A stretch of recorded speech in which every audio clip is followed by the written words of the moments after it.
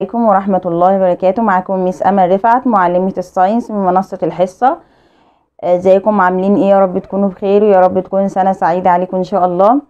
آه، إن شاء الله في الفيديو ده هنعمل revision على concept 1 طب قبل ما نبتدي ال revision حابة أقول لكم على نصيحة آه، مهمة جدا هتخلي مادة ال science سهلة وبسيطة وتثبت على طول. طب إيه هي النصيحة يا Miss؟ لازم أول ما أسمع ال lesson أو حتى ال revision لازم أروح كده على ال lessons أقعد أقرأ فيها وأعمل mark على الحاجات المهمة اللي ال Miss قالت لنا عليها. طب عملنا mark وحفظنا والدنيا بقت تمام أروح على الحل على طول. لازم أحل لازم اطبق اللي ذاكرته. ليه؟ لأن كل ما أحل أكتر كل ما المعلومة هتثبت. طب كل ما أحل أكتر كل ما هتقابلني كلمات أنا مش عارفها فهحفظها. وتقابلني جمل أنا مش عارفه تركيبتها إزاي فهتعود على تركيبة الجمل دي وهعرف أقرأ كويس. ده سواء كان في السنة دي أو السنة الجاية أو اللي بعدها أو اللي بعدها إن شاء الله. يلا بينا. أول concept عندنا بيتكلم عن ال cell طيب.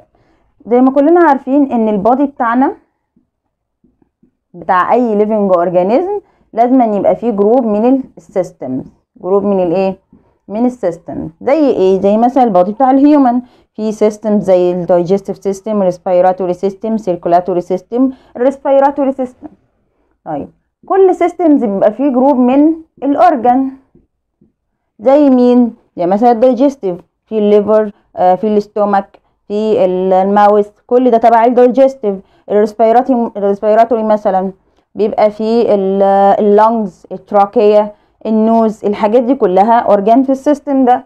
طيب كل organs أو كل organ بيكون من group من ال tissues بيكون من group من الإيه؟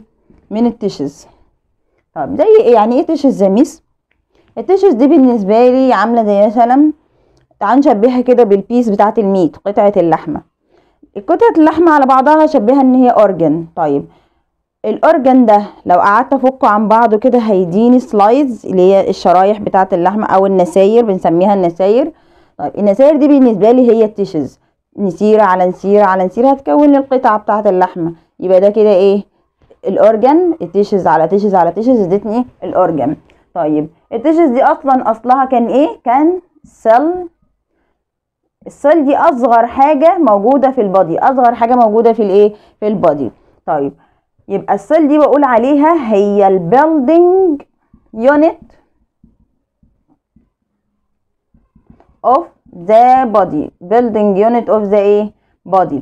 يبقى ال cell على cell على cell يديني tissues و tissues على tissues على tissues تديني organ و group من ال organ يديني group من ال systems و group من ال system يديني ال body كله بتاع ال living organism يبقى ال cell دي موجودة في ال all living organism سواء كان human أو animal أو plant لكن موجودة في ال non living no مش موجودة في ال non living يبقى تاني زي ما قلنا مع بعض ال cell دلوقتي هي ال building unit of the body building unit of the body يبقى لما نيجي نعرف ال cell هنقول إيه؟ the building unit of the body of living organism. طب إيه ال function بتاعتها يا Miss؟ هي مسؤولة عن ال all activities اللي إحنا بنعملها. أي activity living organism بيعملها المسؤول عنها هي ال cell. تمام؟ لأن لو فكرنا كده شوية هنلاقي إن ال cell هي اللي ادتني ال tissues هي اللي ادتني ال organ اللي أنا إيه من غير ال cell مش هيبقى عندي organ اللي أنا بعمل عليه ال active بعمل بيه ال activity بتاعتي. ولو من غير ال cell أو من غير ال organ مش هيبقى فيه system فطبعا مش هعرف أعمل ال activity بتاعتي. تمام؟ طيب ال cell دي مش كبيرة ولا صغيرة؟ إحنا قلنا هي أصغر حاجة موجودة في ال body بتاع ال living organism سواء كانت لل human أو ال animal أو ال plant طب يا Miss يعني تقريبا كده الحجم بتاعها أو طولها بيبقى قد إيه؟ هقول لكم. بنقول إن ال length ال length يعني إيه؟ يعني الطول. ال length يعني الطول. طولها بيتراوح ما بين 1 tenth و 0.005 اللي هي 5000 يعني مش أصغر من 5000 ومش أكتر من 1 tenth تمام؟ تمام. طيب عندنا living organism بس هو اللي بيبقى أصغر من ال 5000 إيه هو ال living organism ده يا البكتيريا. إحنا عارفين إن البكتيريا دي صغننة خالص ما بنشوفهاش. تمام؟ البكتيريا بتبقى صغننة ما بنشوفهاش. عشان ليه Miss ما بنشوفهاش؟ عشان طولها بيبقى صغنن قوي اللي هو 5000 أو أصغر من 5000 تمام؟ عندنا one cell بس هي اللي بنقدر نشوفها ومش بتبقى صغيرة زي مين؟ زي الإج بتاعتنا الإج اللي إحنا بناكلها دي. تمام؟ الإج دي مالها يا Miss ال ال ال الصفاري اللي بيبقى جواها ده هو ال cell بتاعته. هي بتبقى one cell عبارة عن big cell ال cell بتاعتها كبيرة وبقدر أشوفها. يبقى بنسميها unfertilized ان إيه fertilized egg. Unfertilized egg. يعني إيه unfertilized يعني بيضة ما فيهاش كتكوت بس unfertilized يعني بيضة ما فيهاش كتكوت طيب يبقى ال unfertilized egg دي هي الايج الوحيده أو ال cell الوحيده اللي بقدر اشوفها بعينيا طب اما الباقي مش بنشوفه إيه يعني ما لا ما بقدرش اشوفه بعيني بشوفه تحت الايه الميكروسكوب بشوفه تحت الميكرو سكوب. كلنا عارفين الميكروسكوب. الميكروسكوب ده بشوف بيه أي حاجة صغيرة أنا مش بقدر أشوفها بال naked eye. يعني إيه naked eye يا ميس؟ يعني العين المجردة اللي هي عيني. إنما اللي مش naked eye هو الميكروسكوب. بشوف بقى بيه ال cell بتاعه ال plant بشوف بيه ال cell بتاعه ال animal. بشوف بيه ال cell بتاعه البكتيريا. لكن الإيج أو ال unfertilized egg دي مش محتاجة ميكروسكوب. دي إحنا بنشوفها كل يوم وفي أي وقت إحنا عاوزينه. هل كل ال cell اللي موجودة في كل ال living organism شبه بعضها؟ طبعا لا والا كلنا كنا هنبقى شبه بعض. تمام؟ لا ده كمان ال cell اللي في نفس ال living organism وليكن ال human مثلا. ال cell اللي موجودة في ال digestive system غير ال cells بتاعة ال respiratory غير ال cell بتاعة ال circulatory كل حاجة على حسب ال function بتاعة ال cell دي بيبقى شكل ال cell بتاعتها. تمام؟ ناخد مثال على الكلام ده. إحنا عندنا ال cell بتاعه ال animal بيبقى شكلها عامل كده. ولما أقول لكم animal بقى من دلوقتي اعتبروني بقول animal و human لأن الاتنين ال cell بتاعتهم زي بعض. بيبقى شكلها عامل كده يعني semicircular كده شوية شبه دائرية. وال cell بتاعه ال plant بيبقى شكلها كده شوية. بقى ليها definite shape شكل محدد كده. بس بالمنظر ده. دي ال plant cell وده ال animal cell يبقى دي بتاعت ال animal ودي بتاعت ال plant طب إيه الفرق يا miss برضو؟ الفرق في ال shape في الشكل؟ لا وكمان الفرق في ال structure يعني مثلا دي كده من بره عندها خط واحد بس إنما دي من بره عندها two lines عندها خطين. بس هنا بقى ما اسمهاش خط اسمها cell membrane cell إيه؟ membrane cell membrane تمام؟ cell membrane يعني الغشاء بتاعها أو الغطا بتاعها من بره. طيب إنما هنا عندها من جوه ال cell membrane زي ال animal بالظبط بس عندها حاجة زيادة بقى. عندها من بره cell wall cell wall ال cell wall ده هو اللي بيديها ال definite shape بتاعها هو اللي بيديها الشكل بتاعها المعين ده. إنما ال animal يا عيني ما عندهاش ال cell wall ده فما بيديهاش ال definite shape ده. تمام؟ تمام. يبقى دلوقتي ال animal سواء كان animal أو human عندها cell membrane بس. إنما ال plant عندها cell membrane من جوه ومن بره عندها cell wall ومن بره عندها إيه؟ cell wall طيب ده أول فرق. طيب تاني فرق إيه؟ سواء بقى مش في ال plant وال animal في ال animal نفسه في ال human عندنا في ال human مثلا بيبقى فيه cell كده و cell بتبقى كده. مثلا اللي هو واحدة فاضية وواحدة من جوه فيها nucleus عارفين يعني إيه nucleus برافو. النواة. nucleus هي النواة. النواة زي مثلا بتبقى موجودة في المنجايه دي دي اسمها nucleus البذرة اللي بتبقى موجودة من جوه. تمام؟ في بقى عندنا في ال body بتاعت ال human أو ال animal في cells بتبقى عندهاش nucleus وفي cell تانية بيبقى عندها nucleus ده فرق من الفروق. طيب في في فروق تانية يا miss؟ آه في. إيه هي؟ مثلا في الشكل العام بقى. يعني مثلا عندنا في ال muscle cell اللي هي الخلية العضلية اللي هي مسؤولة عن ال muscle بتاعت ال organ زي ال hand ال leg كل دي muscles تمام؟ آه ال muscles بتاعت ال face تمام؟ شكلها بيبقى عامل إزاي؟ دي يعني بتبقى مثلا شبيهة للشكل ده كده. تبقى long كده طويلة وجواها nucleus دي ال cell بتاعه ال muscle. طيب ال cell بقى بتاعه مثلا ال- ال bone العظام. ال cell بتاعه ال bone بيبقى شكلها كده.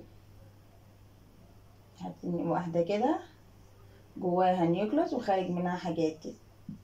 دي ال cell بتاعه ال bone بتاعه العظام.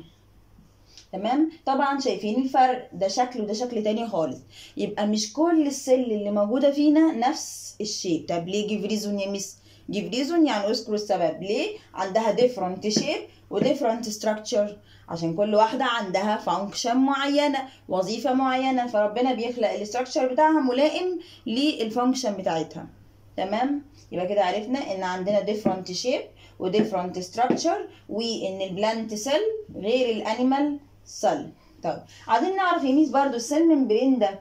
إيه ال function بتاعته؟ يعني بيعمل إيه؟ ليه موجود أصلا؟ سواء هنا أو هنا. هو نفس ال function اللي في ال animal نفس ال function اللي في ال plant الفرق إن هنا بس في cell wall وهنا مفيش cell wall. طب ال cell membrane ده أنا قلت لكم هو الغطا اللي من بره في ال animal ده والغطا اللي من جوه في ال plant يا ليه برضو موجود يا ميس؟ علشان يتحكم. what enters the cell إيه اللي هيدخل لل cell وايه اللي هيخرج من السيل عامل زي ال guards كده الحراس. يخرج يدخل حاجات ويخرج حاجات. ولو في حاجة مش على مزاجه مش عاوز يدخلها هتضر ال cell مثلا ما يدخلهاش. تمام؟ طب في function تانية. إن هو مثلا لو لقى إن ال cell قعدت تتملي water تتملي تتملي تتملي لحد آه ما أنا نسيت أقول لكم. إن ال cell دي هي اللي بتحتاج energy عشان تعمل ال activity يعني إحنا لما بنحس إن إحنا عاوزين energy لا ده مش إحنا ده ال cell بتاعتنا. هي اللي محتاجة energy فبتاخدها منين؟ بتاخدها من ال water وبتاخدها من ال nutrients وبتاخدها من الاكسجين يبقى هي بتحتاج water وبتحتاج energy اكسجين وبتحتاج nutrients تمام؟ nutrients يعني عناصر غذائية. طيب عشان تعمل إيه؟ عشان تعمل ال activity بتاعتها. طيب هي دلوقتي خدت water وقعدت تاخد water تاخد water تاخد water لحد ما هتتملي على الآخر. تفضل بقى تتملي لحد ما تنفجر؟ تتملي يعني swell تنفجر bursts يبقى إحنا عشان ما نخليهاش swell and bursts إن إحنا مش عاوزينها تنفجر. مين اللي هيمنع الكلام ده؟ ال cell membrane لما يلاقيها هتتملي يفضي water براها فيعمل water balance يعمل توازن. عشان اللي بره يبقى قد اللي جوه مش اللي بره ال cell يخش كله وما يبقاش فيه مية وفيه water بره ويبقى ال water كتير جوه فال cell يحصل لها bursts تنفجر. تمام؟ دي كده ال function بتاعت ال cell membrane إن هو بيعمل water balance زي ما عرفنا إن ال cell بتاعتنا صغننة جدا محدش يعرف يشوفها بعينه المجردة بال naked eye. لازم نشوفها بالميكروسكوب طب قبل ما نتعرف على ال structure بتاع الميكروسكوب لازم نعرف إن عندنا scientist عالم اسمه روبرت هوك اسمه إيه؟ روبرت هوك عالم اسمه روبرت هوك مين هو روبرت هوك ده؟ ده ال scientist اللي جاب plant cell cell بتاعة ال plant حطها تحت الميكروسكوب بتاعه. لقاها بتتكون من small particles جزيئات صغيرة. الجزيئات دي هو اللي سماها cells هو اللي سماها إيه؟ cells ما عملش أكتر من كده. جم بقى ال scientists اللي بعده استخدموا ال modern microscope استخدموا ال modern microscope. طب بعد ما استخدموه عرفوا إيه؟ عرفوا إن ال cell بتتكون من حاجة جواها اسمها ال nucleus تمام؟ وعرفوا إن في living organism بتتكون من one cell ودي بسميها simple living organism وهنعرف بعد كده إن ليها اسم تاني unicellular organism يعني كائنات وحيدة الإيه؟ ال cell. عندها cell واحدة بس ودي زي البكتيريا. تمام؟ يبقى عندنا living organism ال living organism ممكن تنقسم لكام نوع؟ نوعين. ممكن نمسح دي. living organism نوعين. unicellular و multicellular unicellular و multicellular يعني إيه unicellular و multicellular uni يعني one cell بتتكون من one cell حاجات صغننة قوي. هي هي living organism صغيرة فما ينفعش يبقى فيها غير one cell طيب في multicellular organism دي بتتكون من more than one cell يعني أكتر من خلية واحدة ممكن يوصلوا لملايين ملايين الإيه؟ الخلايا. تمام؟ طيب زي مين؟ زي ال human وال animal. مين اللي عارف الكلام ده؟ وال plant طبعا. مين اللي عارف الكلام ده؟ ال scientists اللي جم بعد روبرت هوك واستخدموا ال modern microscope. تعالوا بقى نتعرف مع بعض كده على ال modern microscope بيتكون من إيه؟ الميكروسكوب بتاعي لازم أول حاجة أبص فيها هي ال eyepiece ال eyepiece دي اللي لما بحط عيني هنا واشوف بشوف الايه ال sample اللي أنا حطاها على الحتة دي. أنا اعرف الحتة دي اسمها إيه دلوقتي؟ طيب أنا بحط ال sample إزاي يا ميس. أنا عندي هنا glass slide شريحة زجاجية ماشي؟ بتبقى رقيقة قوي كده ومستطيلة شوية. بحط عليها ال sample بتاعتي زي إيه مثلا؟ ممكن أجيب آه أي plant بصل مثلا واجيب القشرة بتاعته واكسرها كده واحط عليها drop drop صغننة من ال water عشان ما تبقاش ناشفة. وبعد كده بغطيها بك- بك- ب cover ال cover ده بيبقى صغنن قوي مربع كده ورفيع قوي عشان يغطي العينة عشان لما احطها ما تلزقش فيه ال lenses دي العدسات دي. تمام؟ حطيت العينة بتاعتي وغطيتها بال cover وبصيت لقيت الصورة مثلا منغنشة شوية مش واضحة قوي بالنسبة لي. مين اللي بيظبط لي الصورة؟ بيوضحها. ال coarse focus وال fine focus بيبقوا بكرة كده بكرتين على الجنب بقعد ألعب فيهم كده وأنا ببص العينة لحد ما إيه ما أحس إن هي بقت أوضح صورة بالنسبة لي. يبقى ال coarse focus وال fine focus تمام؟ يبقى أنا ببص في ال eyepiece وبظبط بال coarse focus وال fine focus. كلمة focus جاية من هو بيركز على العينة بيركز يعني بيوضحها لي focus. تمام؟ وده طبعا ال arm بتاع الميكروسكوب. ال arm يعني الدراع بتاعه اللي أنا بشيل منه الميكروسكوب انقله من المكان ده للمكان ده. طيب بعد كده عندنا مين؟ عندنا أهم حاجة بعد ال eyepiece ال lenses بتاعته العدستين دول. وهنعرف بعد كده إن واحدة بتكون high والتانية بتكون low high اللي هي بت... بت... بشوف فيها العينة big كبيرة. يعني ممكن أشوف بال low الأول. تعرف لي إن مثلا ال plant cell ده بيتكون من شوية cells جنب بعضها كده صغننه مرصوصة. دي بشوفها بالايه؟ بال lenses اللي هي low objective lenses low إيه objective lens تبقى صغننة كده. بتوريني إن ال cell بتكون مرصوصة بس. تمام؟ ده شكل ال plant cell إنما ال high objective دي بتوري لي ال cell بتبقى عاملة إزاي؟ بعد ما شفتها بقى صغيرة بتكبرها لي كده شوية. بتخليها أوضح. كبيرة. دي ال high بقى. يبقى ال high objective lenses وال low objective lenses اللي هي دي ودي. واحدة high واحدة low. ال high بتخليها لي كبيرة وال low بتخليها لي صغيرة. طيب بعد كده ال base. ال base اللي هي القاعدة اللي بوقف عليها الميكروسكوب.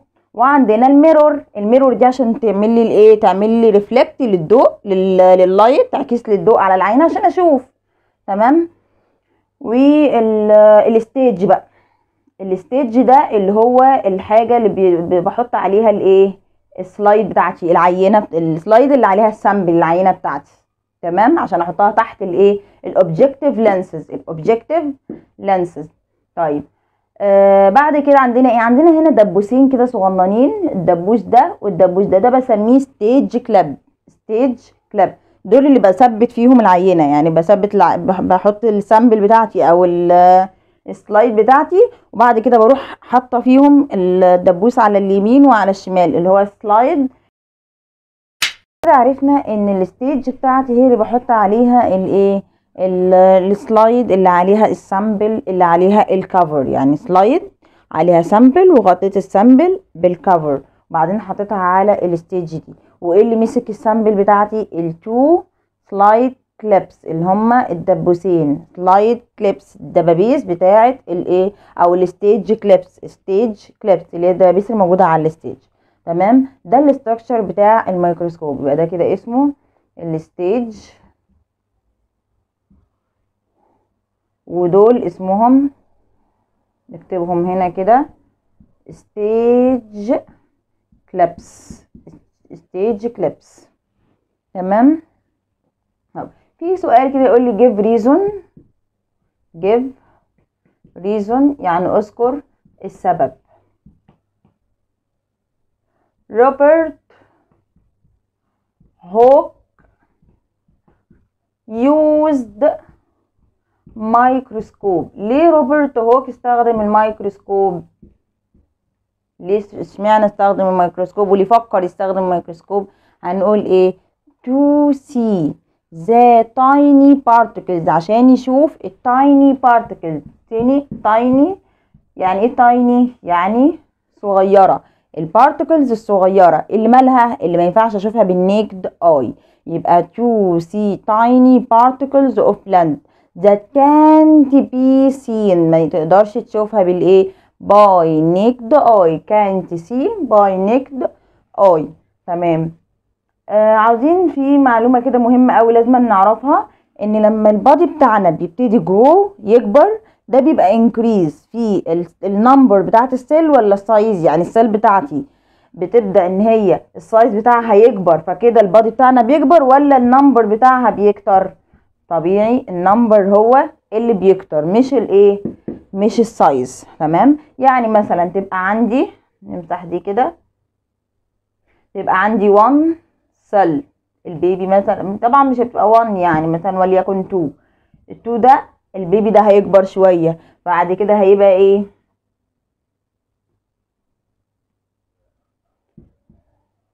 يبتدي كده النمبر عمال يزيد.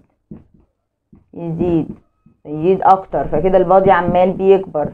يبقى يجي سؤال كده يقول لي الجروس النمو ده تبع increasing in the number ولا increasing in the sign طبعا size. هو increasing in the number زيادة في العدد لكن مش زيادة في الحجم.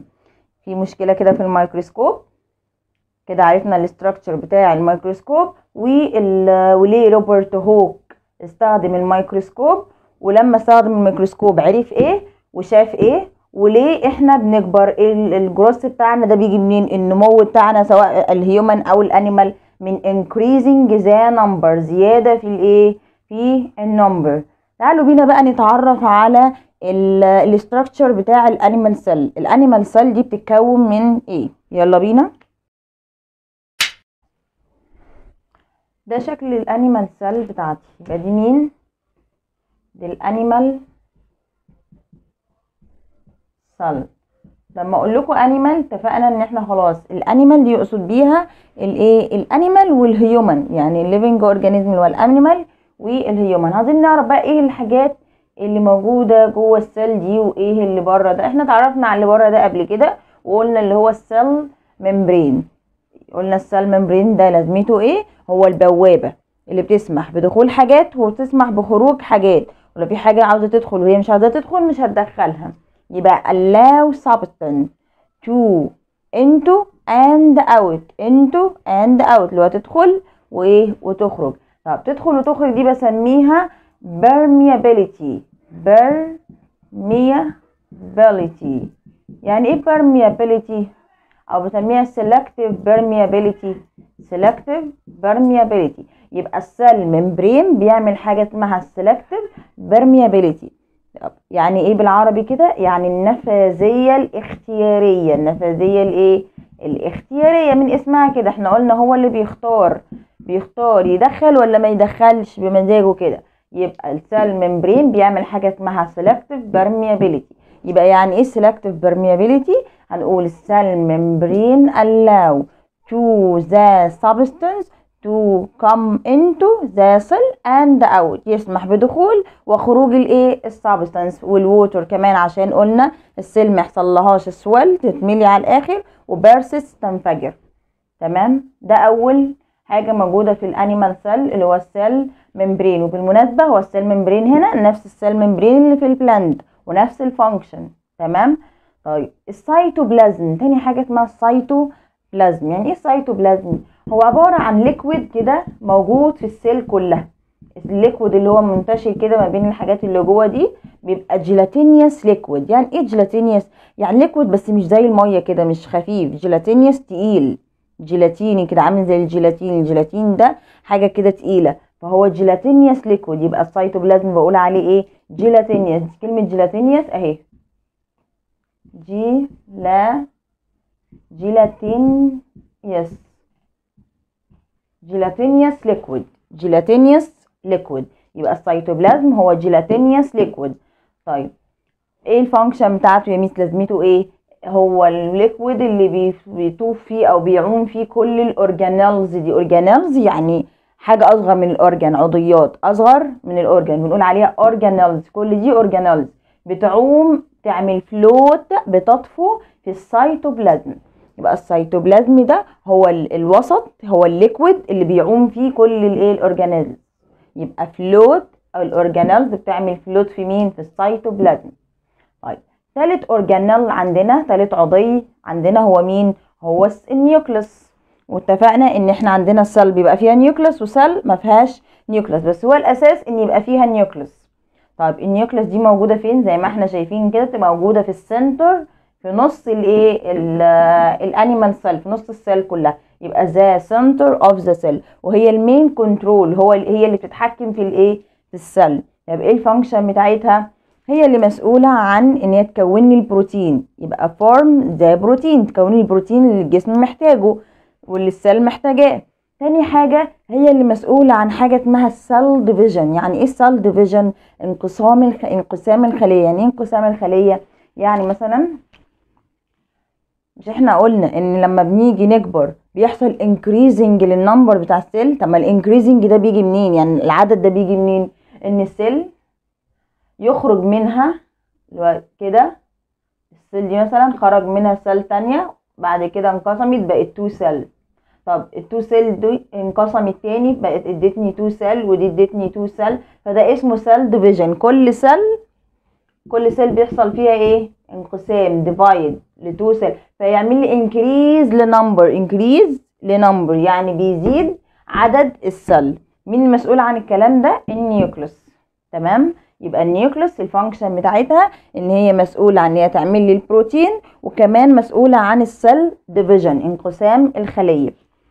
طيب ثالث أو رابع حاجة الميتوكوندريا. الميتوكوندريا بسميها بالعربي الميتوكوندريا بس English mitochondria. إيه هي الميتوكوندريا دي؟ بسميها ال powerhouse بسميها إيه؟ ال powerhouse بيت الطاقة. هو اللي مسؤول عن ال power ال energy هو اللي بيطلع أو بيصنع ال energy هي دي. هي دي ال mito في منها كذا واحدة منها كتير.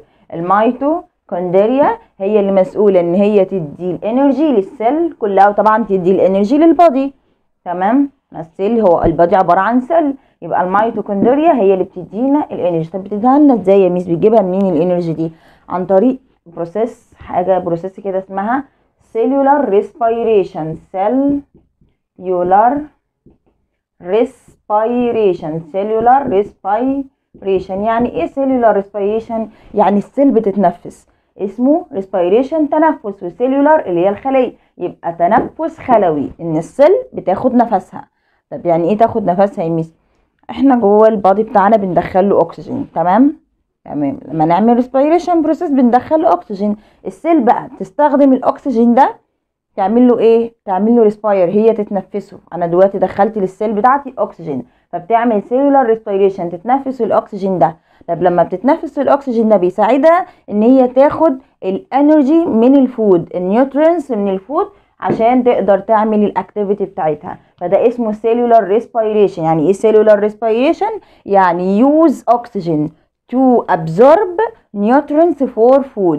بتاخد أو إن هي تاخد ال chemical energy إحنا كنا واخدين في grade 4 إن ال energy اللي بتتخزن في ال food بسميها chemical energy فال cell بتاخد ال chemical energy من ال food عن طريق cellular respiration عن طريق إن هي تتنفس الاكسجين ده بالنسبة للميتوكوندريا هي المسؤولة عن ال energy طيب.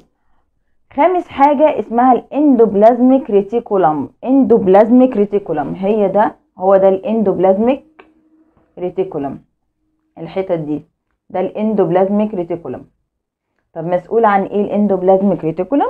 مسؤول ان هو يعمل لي transport تمام و collect يجمع كده البروتين ماشي؟ ويعمل وال nutrients ويعمل لي transport ينقلها لي بس بشرط إيه؟ جوه ال cell ما يخرجش بره ال cell يفضل ينقل لي كده ويعبي لي البروتين جوه ال cell طب ليه؟ عشان بيعمل كده ليه؟ عشان يعمل لي repair لل cell يعني ال cell دي حصل لها أي مشكلة يصلح فيها. يعني مثلا حصل اتعورت هنا لما إحنا بنتعور كده أو حاجة فال cell بتاعتنا بيحصل لها مشكلة. هو بقى ال endoplasmic reticulum ده بيبتدي يصلح يعمل repair عن طريق إيه؟ إن هو ينقل البروتين inside the cell. أهم حاجة نعرف إن هو inside the cell. ليه؟ لأن إحنا عندنا حاجة اسمها ال Golgi apparatus. Golgi apparatus. Golgi apparatus ده اللي هي الحتة دي. ده Golgi apparatus. ده مين؟ Golgi apparatus. طب بيعمل إيه؟ نفس اللي بيعمله أو شبه اللي بيعمله ال endoplasmic إن هو برضو بيعمل لي packing بيعبي لي و transport ينقل لي nutrients بس ممكن ينقلها لي من cell ل cell تانية. يعني يخرجها بره ال cell دي وينقلها ل cell تانية. تمام؟ يبقى الفرق ما بين ال endoplasmic reticulum وال Golgi apparatus إن الاثنين بينقلوا. بس ال endoplasmic بينقل جوه ال cell عشان يعمل لي repair لل cell إنما ال Golgi apparatus لا بينقلها من cell لل cell اللي جنبها لو محتاجة حاجة. تمام؟ يبقى إحنا كده اتكلمنا عن السيل ممبرين والسيتوبلازم. السيل ممبرين ده اللي بره السيتوبلازم ده الجيلاتينيوس ليكويد اللي جوه ال nucleus دي اللي هي في ال center ال mitochondria اللي هم دول وفي منهم أكتر يعني في عدد كتير من الميتوكوندريا وعندنا ال endoplasmic reticulum وعندنا جو ده ال endoplasmic reticulum وعندنا جولجي إيه apparatus وعندنا Golgi apparatus طيب فاضل الحاجات البيضة الصغننة دي. اللي هي حاجات فاضية كده. دي بسميها إيه؟ بس نكتبها هنا. بسميها vacuoles. بسميها إيه؟ vacuoles. vacuoles. بسميها vacuoles. vacuoles دي بتبقى sac like حاجات شبه الأكياس كده. طب ما دام كيس يبقى بيخزن يبقى store ال vacuole دي بتعمل لي store لمين؟ لل nutrients آه لل waste material حاجات آه نفايات ال body مش عاوزها. ال cell مش عاوزاها فهي بتعبيها لي وبتخزنها. يبقى ال vacuole stores water بتخزن لي مية. stores nutrients stores waste material دي مين ال vacuoles. وال animal cell عندها many small vacuoles كتير. vacuoles كتير بس small صغيرة. دي بالنسبة لل animal cell يلا بينا نتعرف على ال plant cell ونشوف الفرق ما بين ال animal cell وال plant cell تعالوا بينا بقى نتعرف على شكل البلانت سيل البلانت سيل زيها زي الانيمال سيل في الاستراكشر اللي جوه ما عدا 3 إيه organelle ثلاثة organelle هما اللي مختلفين. السيل وول والكلوروبلاست والساب فاكيولز والساب إيه vacuole طيب. وبالنسبة للشكل بقى من بره برضو مختلف خالص عن ال animal ليه مختلف؟ لأن هي عندها من بره حاجة اسمها ال cell wall عندها حاجة اسمها الايه ال cell wall وقلنا عليها من شوية إن ال cell wall دي هي اللي بتديها ال definite shape بتديها الشكل ده شكلها المحدد ده. تمام؟ لو دخلنا بعد ال cell wall هنلاقي ال cell membrane. ال cell membrane اللي موجود في ال animal cell بس ال membrane موجود فيهم هما الاتنين. بعد كده لو دخلنا جوه شوية هنلاقي nucleus ال nucleus موجودة فيهم هما الاتنين موجودة في ال animal وفي ال plant فيها endoplasmic reticulum وفيها Golgi apparatus الاتنين موجودين في ال animal وال plant آه فيها mitochondria ال mitochondria موجودة في ال animal وال plant إيه بقى الحاجات المختلفة؟ قلنا ال cell wall وال chloroplast إيه هي ال chloroplast لو نفتكر كده مع بعض كان عندنا في ال grade 5 إن ال plant كان بيعمل process اسمها ال photosynthesis process عملية البناء الضوئي. كان بيعملها عن طريق حاجة موجودة في الليف اسمها الكلوروفيل. الكلورو الكلوروفيل ده كان بيعمل absorb لل sunlight عشان يقدر يعمل photosynthesis process طب الكلوروفيل ده موجود جوه حاجة اسمها ال chloroplast هو اللي موجود في ال plant فهل ال animal محتاج ال chloroplast ده؟ لا لأن ال animal مش ال animal مش بيعمل photosynthesis process يبقى في chloroplast و chloroplast في chloroplast كتير في ال plant يبقى ال chloroplast ده هو sac like حاجة شبه ال sac الكيس. جواه granules ال granules دي اللي هي الحبيبات اللي هي دي. ال granules دي لونها green أخضر. ليه طب ليه give reason ال chloroplast بيحتوي على green granule ليه؟ هنقول لأن ال green granule دي هي اللي جواها ال pigment الصبغة اللي هي لونها green أخضر اسمها الكلوروفيل. يبقى ال chloroplast هي ال sac like. اللي جواه granules ال granules دي لونها أخضر عشان جواها pigment اسمها الكلوروفيل. تمام؟ يبقى cell wall أول فرق ما بين البلانت انيمال والبلانت سيل والانيمال سيل والكلوروبلاست هو تاني فرق ما بين ال plant cell وال animal cell ال sap vacuole هو تالت فرق. طب إيه الفرق؟ هي دي ما فيهاش vacuole لا فيها vacuole بس 1 vacuole one large. إنما ال animal كان عنده many small vacuoles صغننين وكتير ومتنطورين كده في ال cell. إنما دي one vacuole one إيه vacuole. طيب برضو هنا ال function بتاعت ال vacuole هي هي ال function بتاعت ال vacuoles بتاعت ال animal هي stores لل water وال nutrients وال waste material بتخزن كل الحاجات دي. ده بالنسبة لل animal cell وال plant cell وعملنا revision comparison كده مقارنة سريعة ما بينهم عشان نعرف الفرق ما بينهم الفرق ما بينهم في ثلاث حاجات بس. ال cell wall وال chloroplast وال sap vacuole. طيب يبقى ال cell وال cell wall هو اللي بيدي ال definite shape بتاع ال plant cell طب ال cell wall ده يا miss بيتكون من إيه؟ يعني مصنوع من إيه؟ مصنوع من substance اسمها السيلولوز اسمها إيه؟ السيلولوز مادة اسمها ال cellulose ال cellulose دي هي المادة اللي مصنوع منها الورق والخشب. المادة بتبقى موجودة في الورق والإيه؟ والخشب. فالسيلولوز ده هو اللي بيت- بيتعمل منه ال cell wall. ال cell wall بتتكون من substance اسمها السيلولوز طيب طب يا miss ال plant cell عندها حاجة تديها ال shape بتاعها. طب إحنا إيه الحاجات اللي بتدينا ال shape بتاعنا؟ إحنا مش محتاجين cell wall إحنا عندنا bones عظام هي اللي بتدينا ال shape بتاع ال body بتاعنا. وال animal عندها bones هي اللي بتديها ال shape بتاع ال animal آه، بتاع ال- ال body بتاعها. يبقى ال bones عندنا هي اللي بتدينا ال shape. طيب مثلا زي ال cockroach ال turtles الصرصار والسلحفة عندهم bones لا عندهم exoskeleton عندهم عندهم إيه؟ تبقى هنا كده exoskeleton عندهم exoskeleton يعني إيه اكزو اكزو يعني من بره. ال skeleton العظم بتاعها أو القشرة بتاعها من إيه؟ من بره.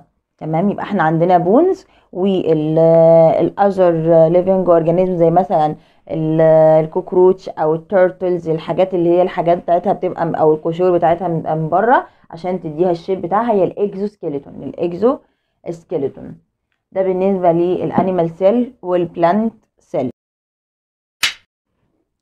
يلا بينا بقى نتكلم على النقطة اللي بعد كده هو إزاي ابني city آه، من ال cell structure يعني أبني مدينة من مكونات ال cell آه، المكونات بتاعة ال cell طيب يعني إيه يا miss؟ يعني مثلا عاوزة أشوف إيه الحاجات اللي ممكن تبقى موجودة في ال city تبقى شبهها وبتقوم بنفس دور الحاجات اللي بتقوم بيها ال cell structure نشوف كده أول حاجة ال nucleus ال nucleus دي ممكن يكون زيها إيه في ال city؟ ال city hall ال city hall مين هو ال city hall ده يا miss؟ هو مركز التحكم بتاع المدينة كلها اللي هو ممكن نقول عليه رئاسة الحي. تمام؟ طيب ليه بقول عليه؟ ليه بشبهه بال nucleus لأن ال nucleus هي اللي كانت بتتحكم أو بتعمل هي ال main control بتاع ال- ال cell ال main control مركز التحكم الرئيسي بتاع الإيه؟ ال cell. طيب وكذلك ال city hall نفس الكلام. طيب نيجي بعد كده لل cell membrane. ال cell membrane ده كان بيعمل إيه؟ miss في ال cell. كان بيدخل ويخرج الحاجات. كان بيتحكم بيتحكم مين يدخل ومين يخرج. طب مين زيه؟ ال guards of gates اللي هي الحراس اللي بيقفوا على بوابات المدينة. برضو مش بيدخلوا كل الناس بيشوفوا مين يدخل ومين ما يدخلش ومين يخرج ومين ما يخرجش. طيب بعد كده ال mitochondria. ال mitochondria دي كانت اللي بتدي ال cell ال energy البيت اللي بيصنع ال energy فمين شبهه عندنا في ال city ال electric power station. electric power station يعني إيه electric power station اللي هو محطة الكهرباء. محطة الكهرباء اللي بتدي الكهرباء للمدينة كلها. تمام؟ فالكهرباء بالنسبة لي electric energy طاقة. ال endoplasmic بقى. ال endoplasmic reticulum إحنا كنا واخدين كده ال- ال endoplasmic reticulum إيه ال function بتاعتها في ال cell؟ كانت هي اللي بتعمل collect و transport لمين؟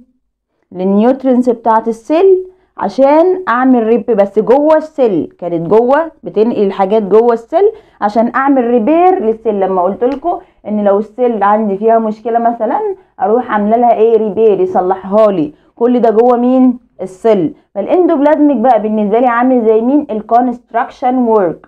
مين هم ال construction worker؟ اللي هم عمال البناء عمال البناء بتوع المدينة. طيب ال Golgi apparatus Golgi apparatus كان شبه ال endoplasmic reticulum كان برضو بيعمل packing و transport للايه لل nutrients بس outside the cell خارج ال cell يعني ممكن ينقلها من cell ل cell تاني ممكن ينقلها من cell ل cell تانية.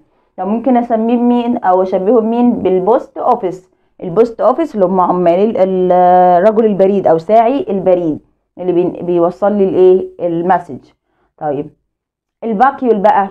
إحنا قلنا ال vacuole في ال cell هي اللي بتعمل لي بتعمل لي store بتخزن لي الايه؟ ال water بقى وال waste material وال nutrients بتخزن كل حاجة.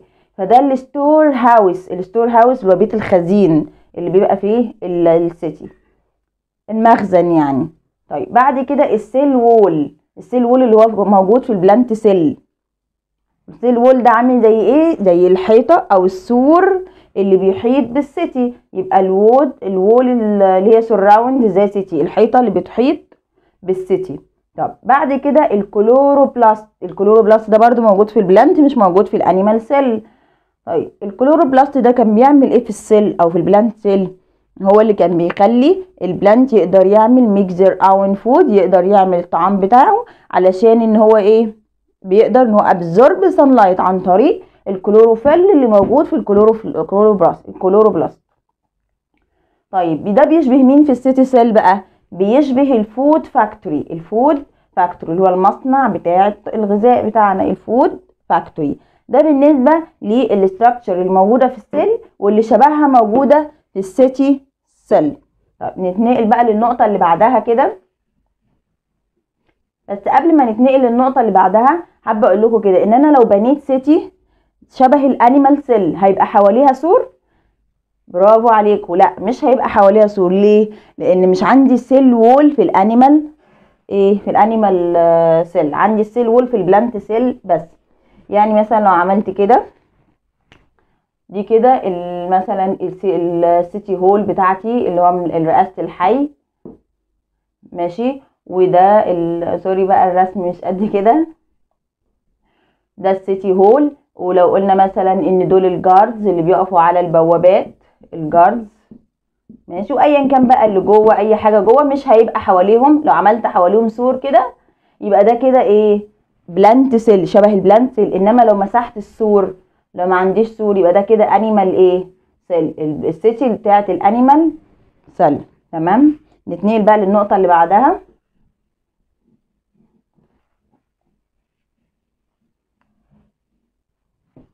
النقطة اللي بعدها بتكلمني عن ال cell biologist ال cell إيه؟ biologist مين هم ال cell biologist يا miss ال cell biologist هم علماء الخلية. مين هم علماء الخلية يا miss اللي هم help doctors بيساعدوا. ال doctors to repair and treat cell عشان يشوفوا ال cell دي فيها إيه إيه المشكلة اللي فيها؟ ويعملوا لها repair أو يدوا لها treat treat علاج. ماشي؟ يعالجوها. يبقى ال cell biologist هم اللي بيدرسوا study cell بيدرسوا الإيه؟ الخلية. study يعني بيدرسوا الخلية. دول ال cell biologist يبقى ال cell biologist work with doctor بيشتغلوا مع ال doctors. ماشي؟ كلنا لما مثلا بعد الشر لما بنعيا ونروح لل doctors بيطلب مننا تحاليل. بنروح فين؟ بنروح لل cell biologist دول اللي هم دكاتره التحاليل المعمل. تمام؟ فدول اللي بيساعدوا على التشخيص. بيساعدوا الدكتور إن هو يشخص المرض أو التعب ويديني الإيه؟ العلاج. تمام؟ طيب. طب ال cell biologist دول بيشتغلوا بقى إزاي؟ بالميكروسكوب بيشت- شغل كل شغلهم على الميكرو الميكروسكوب تمام؟ تمام. بيعملوا إيه؟ إحنا قلنا المرة اللي فاتت إن إحنا بنحط الس- ال- ال sample بتاعتي تحت ال lenses بتاعه الميكروسكوب عشان أقدر أشوف ال cell بتاعتي. تمام؟ طيب. ال cell يا miss دي بتبقى واضحة قوي تحت الميكروسكوب ولا بتبقى شفافة ولا بشوفها أبيض ولا بشوفها إيه؟ الحقيقة ال cell دي بتكون colorless color less and clear. بتكون واضحة اللي هي مش واضحة صافية قوي ومن غير لون يعني شفافة يعني صعب إن أنا أشوفها على الحال ده. لو هي أنا استخدمتها كده بطبيعتها مش هشوفها. فعشان كده بنحط عليها dye dye اللي هي أو stain dye أو stain يعني صبغة. dye أو stain يعني إيه؟ صبغة. طب اسمها إيه الصبغة دي يا ميس؟ اسمها يعني كده نكتب اسمها. ال methylene blue ال methylene blue صبغة ال methylene blue اللي هي الميثيلين الازرق ماشي إحنا مش عاوزين العربي إحنا عاوزين الاسم ده methylene blue. أول ما أحط ال methylene blue على ال sample بتاعتي قبل ما أحطها تحت الميكروسكوب كده هي لسه clear أول ما أحط ال methylene blue بيبقى لنا كله إيه؟ أزرق بس بيبقى في حتت كده ستريس عليها واضحة أكتر باللون الأزرق. دي بتبقى ال nucleus بتاعة ال cell. فبشوف كويس ال cell بتاعتي. يبقى ال- ال- cell biologist عشان يشوفوا ال cell بيحطوا إيه؟ بيحطوا stain أو dye stain أو dye stain أو dye يعني صبغة. الصبغه دي اسمها ال methylene blue ال methylene إيه؟ blue طيب ده في الميكروسكوب اللي هو العادي بتاعنا. اللي هو يعتبر قديم بس مش قديم قوي يعني. بس في ميكروسكوب أحدث منه ظهر. اسمه ال 3 دي مايكروسكوب 3 دي إيه مايكروسكوب إيه هو ال 3D يا ميس ده؟ يعني إيه الفرق ما بينه وما بين الميكروسكوب العادي؟ ان ال 3 دي مايكروسكوب ده بيطلع لي الصورة بتاعه ال cell صورة إيه؟ ثلاثية الأبعاد. مش بشوفها مثلا حاجة كده من على الوش وخلاص لا بشوف كل حاجة فيها. تمام؟ يبقى 3 دي مايكروسكوب ده ساعد ال doctors أو ال cell biologist إن هم see all see all components. يشوفوا كل ال components of إيه cell بصورة واضحة. يشوفوا كل ال components بتاعت ال cell طيب برضو ده بيشتغل إزاي؟ من 3 دي مايكروسكوب بيبقى متوصل بالكمبيوتر. الكمبيوتر بيعمل إيه take a picture بياخد صور of sample بياخد صور من العينة. طيب بعد ما ياخد صور يروح حاطط عليها stain صبغة أو لون مش هنا مش هنقول عليها stain هنقول color الكمبيوتر هي هيحط على ال sample بتاعتي color هيحط على ال sample بتاعتي إيه؟ color طيب بعد ما يحط عليها color هيحط ال- الصور اللي هو التقطها دي. الصور دي بحط بحطها في layer في طبقات. فهو يروح راصص ال layers دي على بعضها الطبقات بتاعة ال sample بتاعة اللي هي الصور. على بعضها وتروح مطلع لي صورة كاملة لل cell بتاعتي اللي أنا عاوزة أشوفها. ده بالنسبة لل 3 دي مايكروسكوب عايزين نعرف بقى ساعد ال doctors في إيه؟ قلنا أول حاجة إنه يشوف كل ال comp- ال components بتاعه ال cell طيب تاني حاجة وأهم حاجة إن هو ساعدهم إن هم treat the cancer يعالجوا مرض الإيه؟ ال cancer. طب ال cancer ده مش بيجي من إيه؟ بيجي من إن cell واحدة. ماشي؟ cell يحصل لها division إحنا عارفين إن ال cell طبيعي إن هي بيحصل لها division بتنقسم طول الوقت عشان نكبر صح؟ ف cell تانية تنقسم فيبقوا two cell طب ده الطبيعي. إنما في بقى حالات معينة آه بيحصل division بسرعة بسرعة بسرعة فبيحصل division كتير division كتير. فبيؤدي للحتة دي إن هي بتحصل تورم في المنطقة دي. التورم ده هو ال cancer. تمام؟ آه بعد الشر علينا طبعا وعلى اهالينا كلنا. ده هو الإيه؟ ال cancer. فعن طريق ال 3 دي مايكروسكوب بشوف الحاجات دي. فبقدر أشوف العلاج بتاعها. آه وكمان ساعدهم إن هم يعرفوا ال cell دي how divide إزاي أصلا بتنقسم إزاي بتنقسم. وبكده يبقى إحنا رجعنا على concept 1 كله. وإن شاء الله تكون الدنيا سهلة وبسيطة بالنسبة لكم. ونخش بقى على جزء الايه؟ الأسئلة. زي ما قلت لكم في أول الفيديو إن إحنا لازم نحل أسئلة على كل اللي خدناه عشان كل حاجة تثبت. يلا بينا. يلا بينا. يلا بينا نشوف أول سؤال. كومبليت بيقول لي growth of living organism. يعني إيه growth يعني نمو نمو living organism is resulted from. يعني ناتج من إيه؟ Increasing the A of the cell. إحنا كنا قلنا إن ال growth بيجي لما ال- increasing the size of the cell ولا the number of the cell.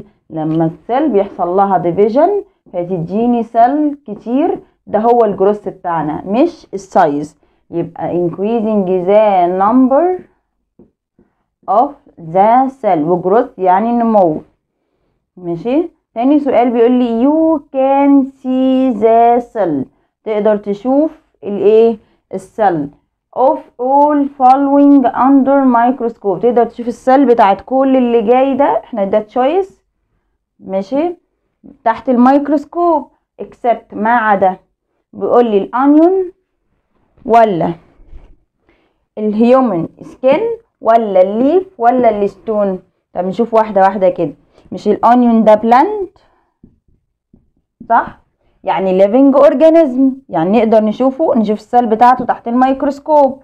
طيب ال human skin مش ال skin ده organ وقلنا إن ال organ جوه ال living organism يعني ليه cell يعني نقدر نشوفه تحت الميكروسكوب. طيب ال leaf ال leaf برضو اللي هي ورقة الشجر برضو دي living organism يعني نقدر نشوفها تحت الميكروسكوب لأن ليها cell طيب بعد كده ال stone بقى. ال stone بالنسبة لي ده non living things. وإحنا قلنا إن ال cell موجودة في ال living organism بس مش الايه ال non living thing. يبقى ده هو اللي ما أقدرش أشوفه تحت الميكروسكوب. بعد كده بيقول لي the two cell organelles that responsible for يعني في two organelles موجودين في ال cell مسؤولين عن ال transportation process مسؤول عن عملية ال transportation هي عملية النقل. كنا خدنا حاجتين. أول حاجة اللي كان بيعمل لي transporting inside cell. بينقل لي بس جوه ال cell عشان يعمل لها repair. عشان يعمل لها إيه؟ repair. فده كان اسمه إيه؟ برافو عليكم endoplasmic reticulum endoplasmic reticulum تمام؟ طيب. إنما التاني اللي هو كان بيعمل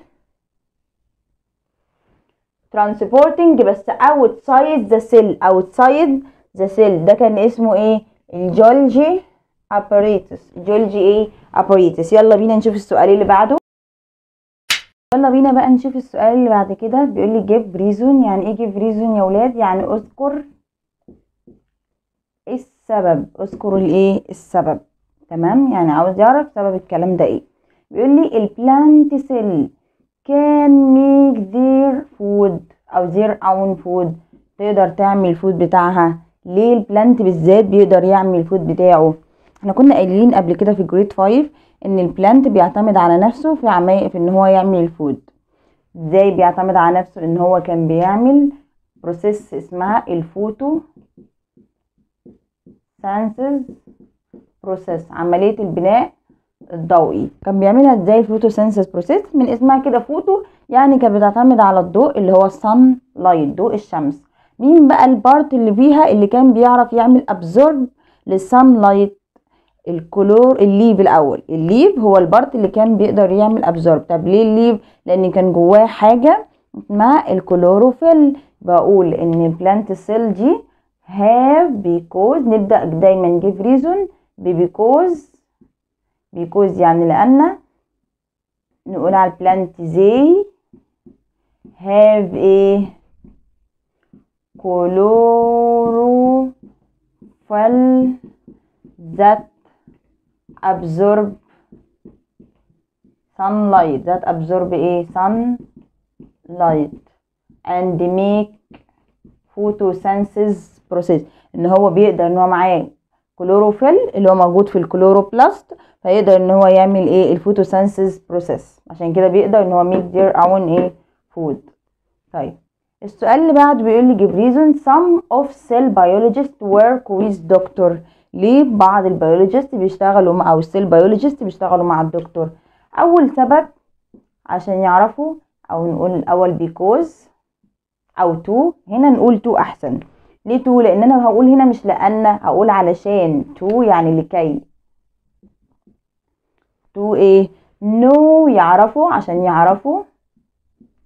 how cell work in body to repair عايزين يعرفوا ال cell دي بتشتغل إزاي في ال body أو إيه المشكلة فيها أو إزاي بيحصل لها divide عشان يحصل لل body ده repair.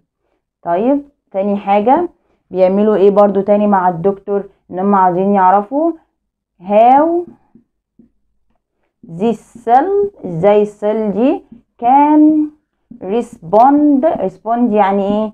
تستجيب to the medicine. إزاي تقدر تستجيب لل medicine اللي هو العلاج اللي الدكتور عاوز يكتبه. تمام؟ هما مش هيعرفوا الكلام ده غير من ال cell biologist عشان هما اللي بيستخدموا الميكروسكوب وبيشوفوا كل حاجة بتحصل في ال cell. طيب يبقى عشان to know how cell work in body. يعرفوا ال cell بيشتغل إزاي في ال body و how this can أو this cell can respond. إزاي ال cell دي بتقدر إن هي respond تستجيب للإيه؟ لل treatment للعلاج أو لل medicine طيب تالت سؤال بيقول لي we must stain. stain يعني إيه؟ يعني يصبغ زي dye كده. ليه لازم أصبغ ال cell before examining ليه لازم أصبغ ال cell قبل ما أحطها تحت الميكروسكوب examining يعني يفحص. ليه بقى لازم أصبغها؟ هنقول له because the cell السيل دي مالها؟ لونها إيه؟ clear and colorless. and إيه colorless بتكون clear وبتكون colorless. نقية جدا آه، شفافة وملهاش لون. And إيه we can't see it ما نقدرش نشوفها. Without إيه stain من غير ستين ما نقدرش نشوفها من غير ستين مش هقدر ألاحظ أي structure جواها من غير الستين ده كان سؤال give reason. يلا بينا نخش على السؤال اللي بعده. يلا. Scientific term. يعني إيه scientific term يعني المصطلح العلمي. يعني إيه المصطلح العلمي Miss؟ يعني عاوز السبب بتاع sorry ال- التعريف بتاع أو معنى الكلام ده. معنى الكلام. يعني الكلام ده على مين؟ طب نشوف أول حاجة. بيقول لي the components of cell اللي هي المحتويات بتاعة ال cell أو component تركيب موجود في ال cell allow water to enter and out. بيسمح لل water إنه يدخل ويخرج. ده مين ده؟ ده اللي إحنا شبهناه في ال city بال guards اللي هي الحراس اللي واقفين على ال gate البوابات. برافو هو ال cell membrane ال cell إيه؟ membrane طيب نيجي السؤال اللي بعد كده بيقول لي they are living organism. هم مين؟ living organism. That their bodies consist of one cell. بتتكون من one cell. مين دول يا Miss دول uni. cellular organism اللي هم الكائنات. وحيدة الخلية. زي مين فاكرين؟ برافو زي البكتيريا. طب كنا واخدين نوع تاني من ال organism اسمه multicellular organism multicellular يعني كائنات فيها cell كتير زي ال human وزي الايه ال animal وال plant نيجي لآخر سؤال عندنا ال stain that is used to color. stain بستخدمها عشان أعمل color ألون. stain يعني صبغة. الصبغة اللي بستخدمها عشان ألون ال nucleus أو ال cell. من غيرها مش هشوف ال cell تحت الميكروسكوب ولا هشوف ال nucleus بتاعته. مين بقى الصبغة دي؟ هي الميثايلين blue. ال methylene إيه؟ blue. يبقى من غيرها مش هقدر أشوف ال cell لأن هي clear و colorless مش ملونة هي إيه شفافة. وبكده الحمد لله يكون خلصنا revision على concept 1 وأتمنى إن شاء الله الدنيا تكون أسهل وألطف. ونتقابل في concept 2 بإذن الله.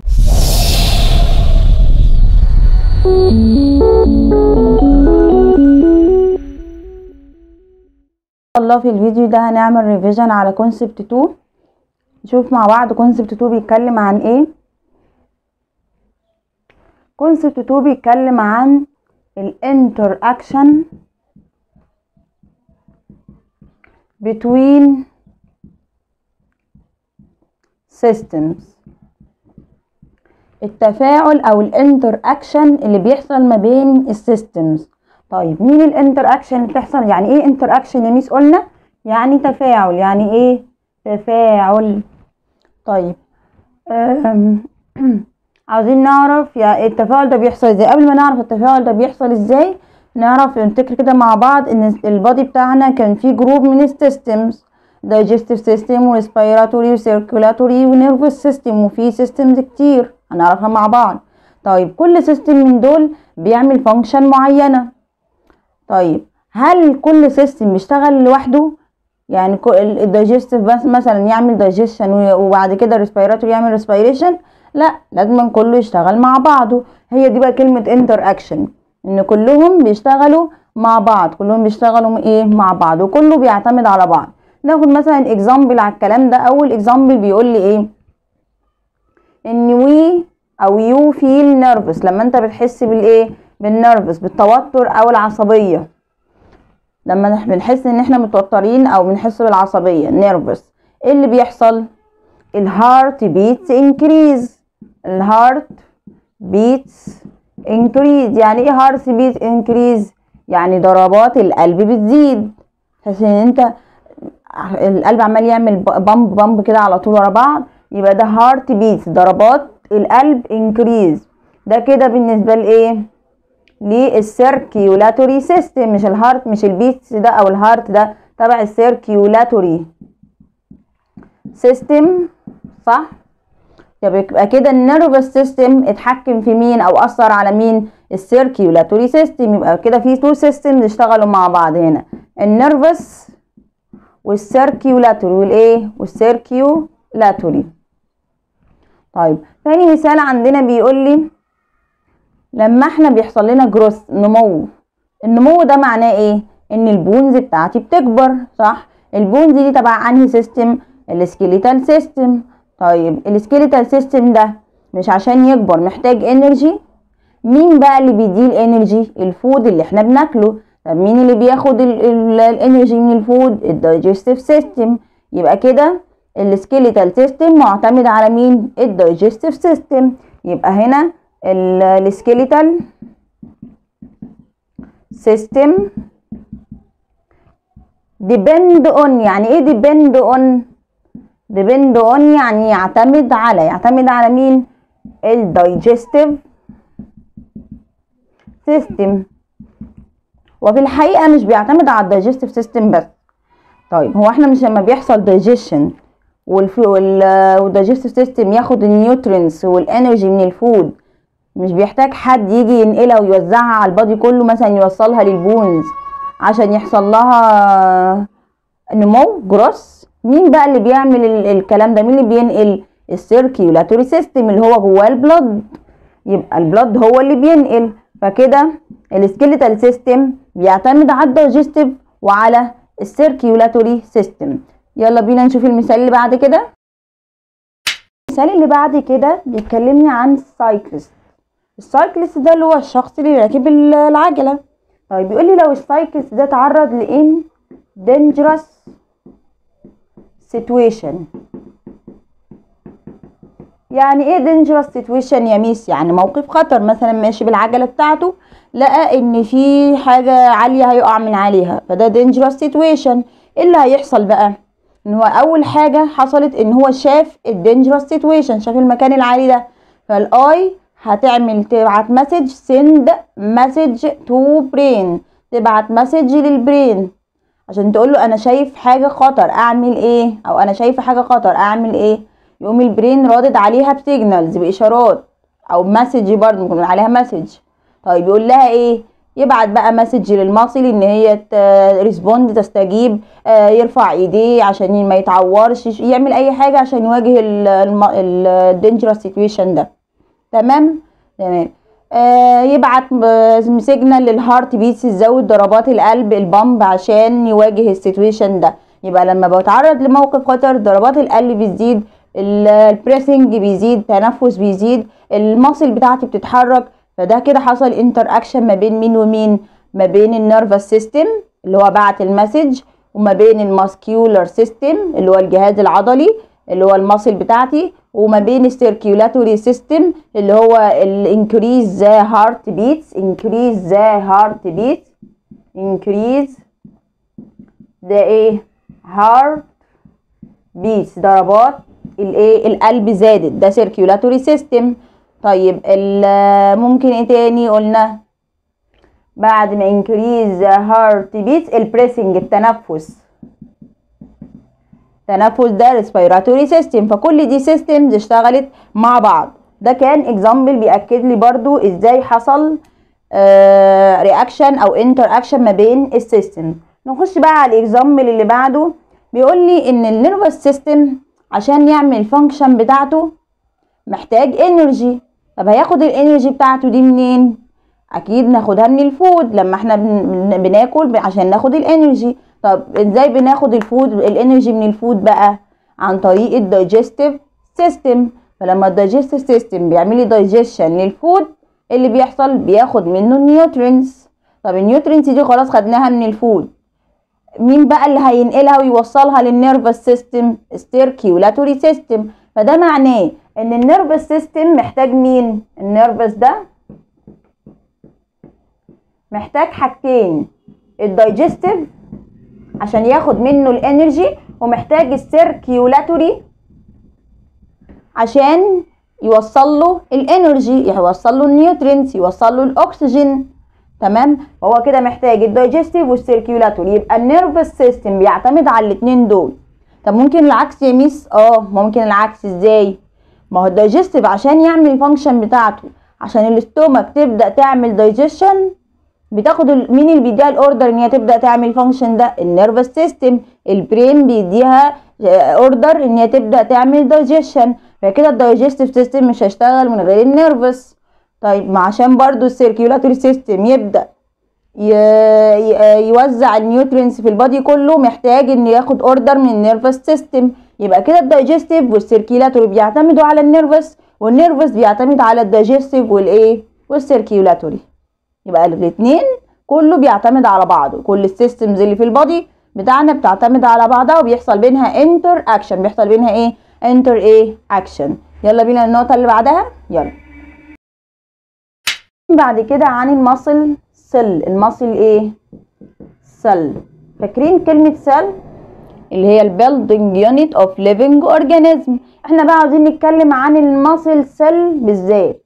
عشان هنتكلم بعد كده عن ال system بتاع الايه ال muscle ده عشان نبدأ بال cell إحنا كنا واخدين قبل كده الشكل ده لما قلت لكم ممكن نرسم الشكل بتاع ال- ال cell يبقى كده.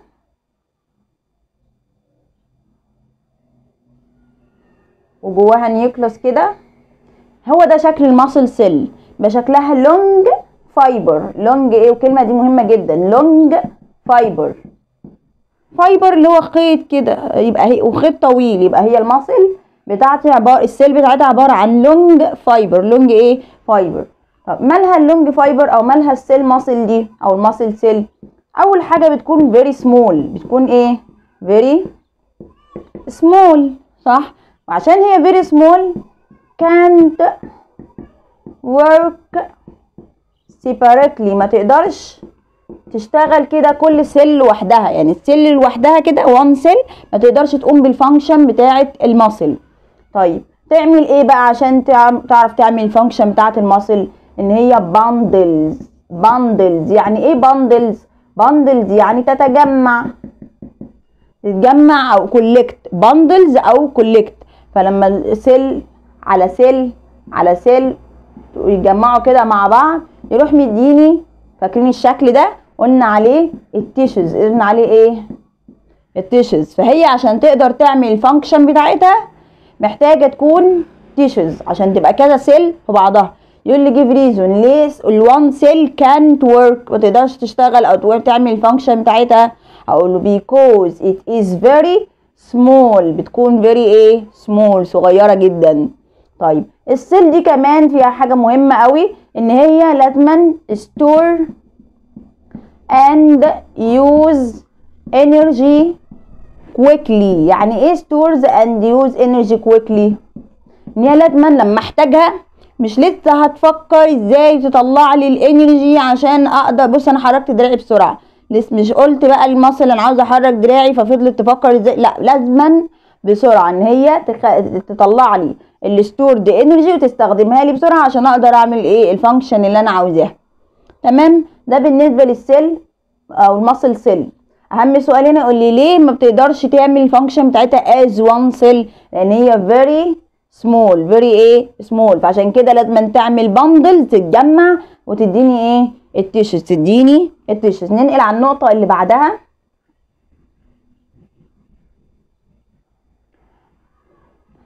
إحنا قلنا قبل كده إن ال tissues دي بقى بتتجمع مع بعضها فتديني إيه؟ برافو. ال tissues ال tissues كده تتجمع تديني organ ال organ ده بقى بالنسبة لي هنا هو ال muscle نفسها. ال muscle اللي هي العضلة. يبقى ال tissues collect أو bundle collect أو bundle فتديني ال organ ال organ هو بالنسبة لي مين؟ ال muscle. نيجي example مثلا على أي muscle عندنا في ال body. ال muscle اللي هي ال upper arm مين هو ال upper arm اللي هي المنطقة دي. ده ال upper arm ال upper arm اللي بيبقى between between مين؟ between ال elbow between ال elbow اللي هو الكوع and shoulder. between elbow and shoulder. يبقى ال upper arm اللي هو المنطقة دي بتبقى ما بين ال elbow وما بين ال shoulder ده مثال على الايه؟ على ال muscle طب عايزين نعرف بقى ال muscle ده بيعمل ال function بتاعته إزاي؟ إيه اللي بيحصل لما بعوز احرك دراعي؟ قبل ما نعرف إيه اللي بيحصل لازم نعرف ان كل اللي بيحصل لما بحرك دراعي مسؤول عنه system مهم قوي اسمه ال muscu لا مش ular مش muscular system musculoskeletal system هو اسم طويل شوية بس سهل. لو قسمناه هيبقى سهل جدا. system musculoskeletal system حد يقول لي بقى عبارة عن إيه ال musculoskeletal system من اسمه كده بينقسم ل two systems ال muscular اللي إحنا عارفينه وال skeletal اللي إحنا برضو اتكلمنا عنه قبل كده. يبقى عشان أحرك دراعي ما ينفعش ال muscle بس هي اللي تتحرك لوحدها. لازما ال muscle وال bones اللي ال muscle متصلة بيها. عشان كده بيبقى work together. muscular system مع skeletal system muscular system مع إيه؟ مع ال skeletal system muscular ده زي ال muscle ال skeletal زي مين؟ ال bones. تمام؟ عاوزين نعرف بقى ال system ده بيتكون من إيه؟ هو متكونش من muscle و bones بس. إحنا قلنا ال muscle دي attached to bones لازم تكون متصلة بال bones صح؟ طب مين اللي بيوصلهم ببعض؟ حاجة اسمها ال ligaments وال tendons وال cartilage يا بالراحة علينا إحنا مش عارفين نسمع. cartilage أقول لكم بالراحة. ligaments و tendons الاتنين دول عاملين زي الشرايط اللي بيربطوا الأربطة كده اللي بتربط الايه ال muscle بال bones. يبقى ده اسمه ligaments و tendons و cartilage طب مين هو ال cartilage يا miss؟ ال cartilage اللي هي الغضاريف. الغضاريف ده يعني إيه الغضاريف يا miss؟ عارفين المنطقة اللي هي عند الأذن دي اللي تحسيها تحسوها كده bones بس مش ناشفة طرية كده بتروح وتيجي؟ يبقى ده ال cartilage هو ده الغضاريف. حاجة عاملة زي ال bones بس طرية. عارفين القرقوشة اللي إحنا بناكلها في في الكوكو دي؟ هي الغضاريف يبقى ال cartilage، cartilage حاجة solid بس مش solid قوي زي ال bone بتبقى طرية. يبقى ده ال cartilage يبقى ال musculoskeletal system بيتكون من ماسل وبونز وتندونز وليجامنتس وكارتيليج وكارتيليج التندونز والليجامنتس دول الأربطة. سمعتوا قبل كده عن حاجة اسمها الرباط الصليبي اللي بيبقى موجود في رجلي. لما لا قدر الله مثلا حد لعب كورة أو حاجة يقول لك حصل تمزق في الرباط فما عرفش يلعب تاني. ليه ما عرفش يلعب؟ لأن الرباط ده هو اللي كان إيه بيربط رجله من ورا يربط ال muscle بالإيه بال bone.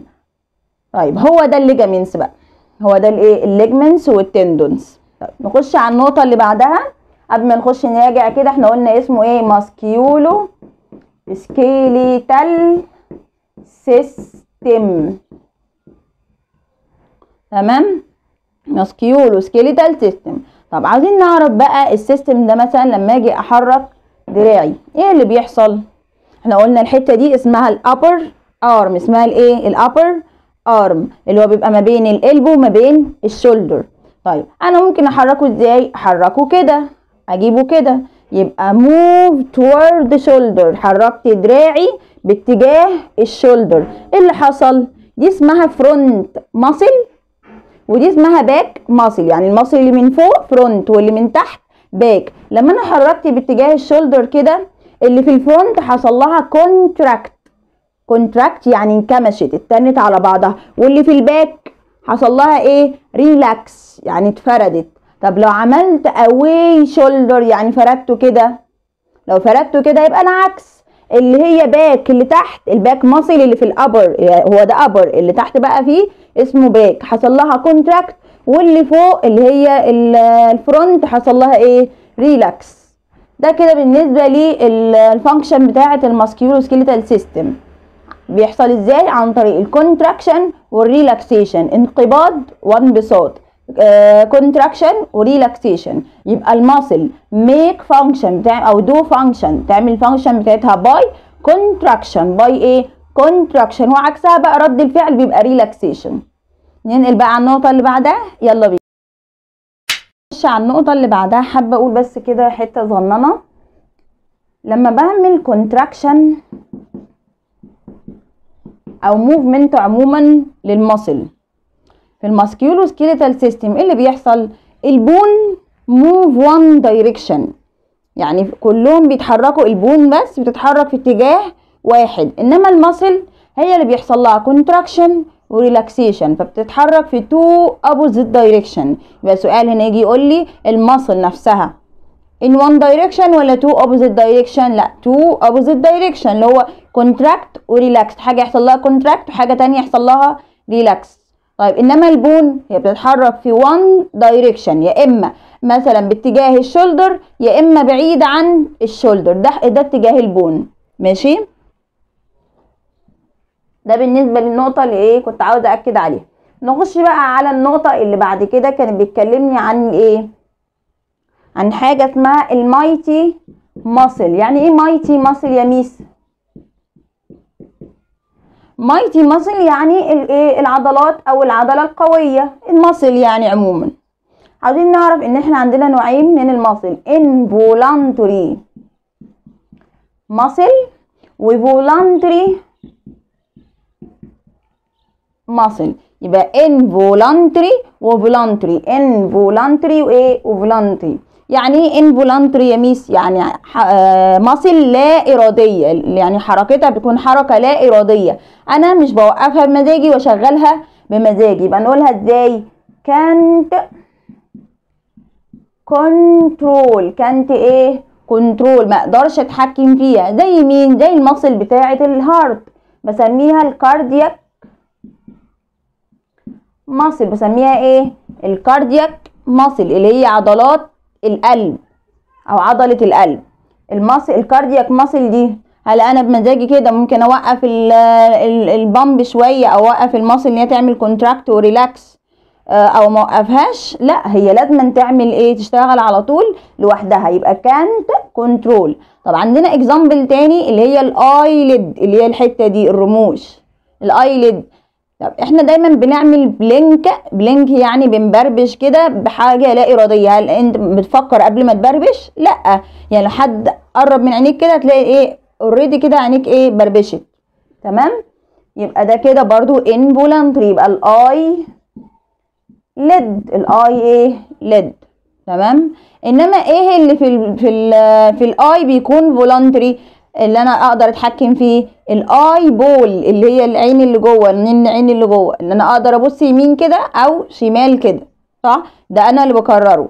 يبقى الانفولنتري يبقى كانت كنترول زي ال cardiac muscle أو ال eyelid إنما ال voluntary اللي بقدر أتحكم فيها زي مين؟ زي ال upper arm اللي إحنا اتكلمنا عليه من شوية. زي ال eyeball يبقى زي ال upper arm زي ال eyeball اللي هي كرة العين. كرة العين دي أنا أقدر أبص بيها يمين أو أقدر أبص بيها شمال. دراعي أهو أنا بقدر أحركه يمين أو شمال. براحتي. يبقى ده بيبقى بنسميه إيه؟ voluntary voluntary يعني إرادي. أقدر can control بقى. ده نقول عليه can control can إيه؟ control أقدر أتحكم فيه. طيب تعالوا ناخد أمثلة أكتر على ال voluntary هو ال involuntary خلاص كده. cardiac muscle و eyelid نتكلم بقى أكتر عن ال voluntary muscle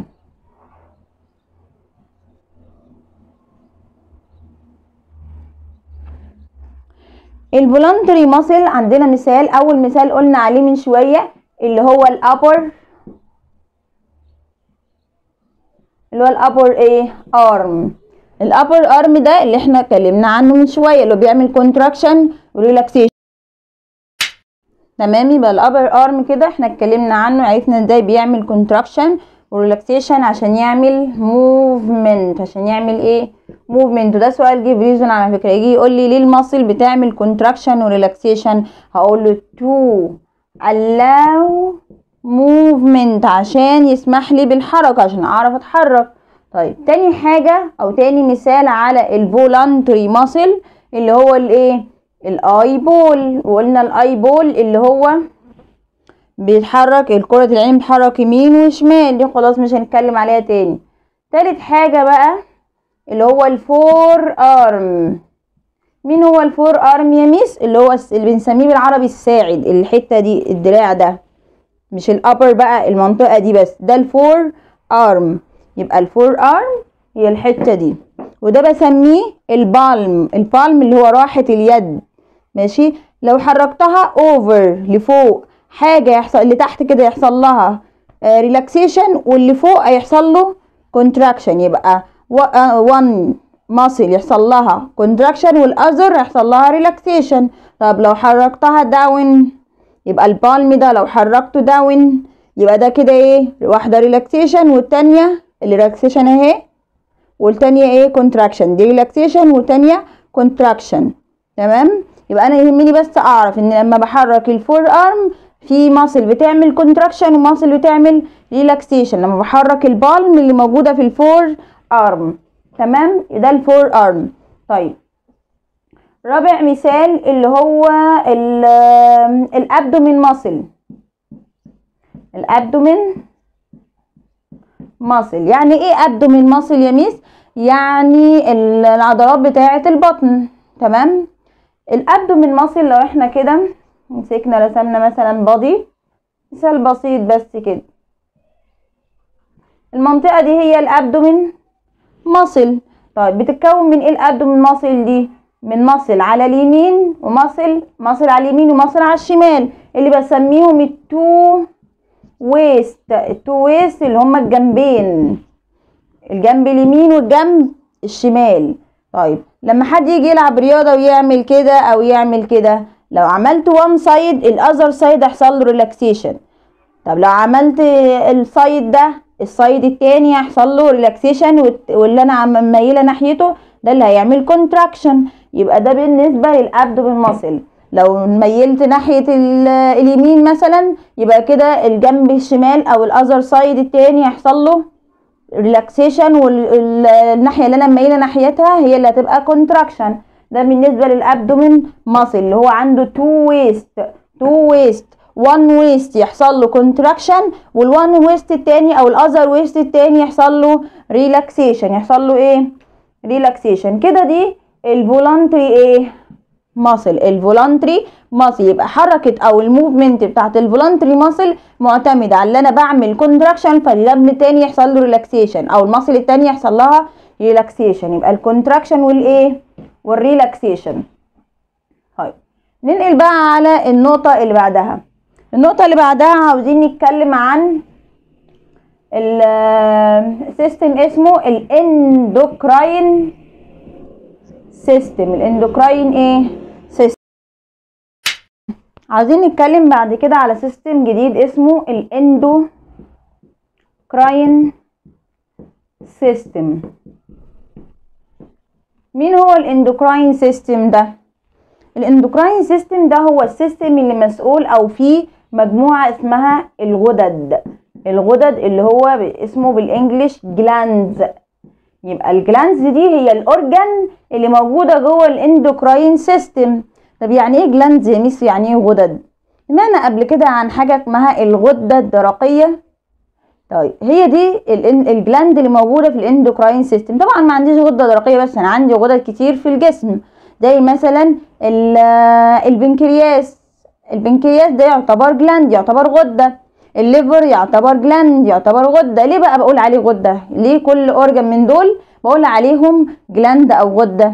لأن هم مسؤولين إن هم يفرزوا لي chemical مادة كيميائية اسمها إيه؟ اسمها الهرمون. اسمها ال hormones. ال hormones دي هي chemical substance. chemical إيه؟ substance.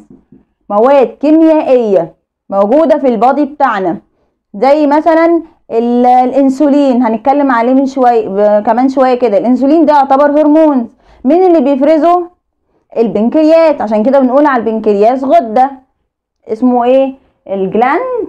هو زي البنكرياس بيفرز له هرمون زي الإنسولين. طب الإنسولين مثلا أو الهرمون ده مسؤول عن إيه؟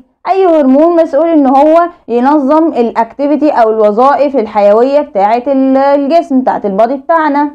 ماشي؟ يبقى ال endocrine system مسؤول عن هو secretes hormone secretes إيه؟ هرمونز. إن هو يفرز لي الهرمونات أو ساعات أقول انزيمز الإنزيمات.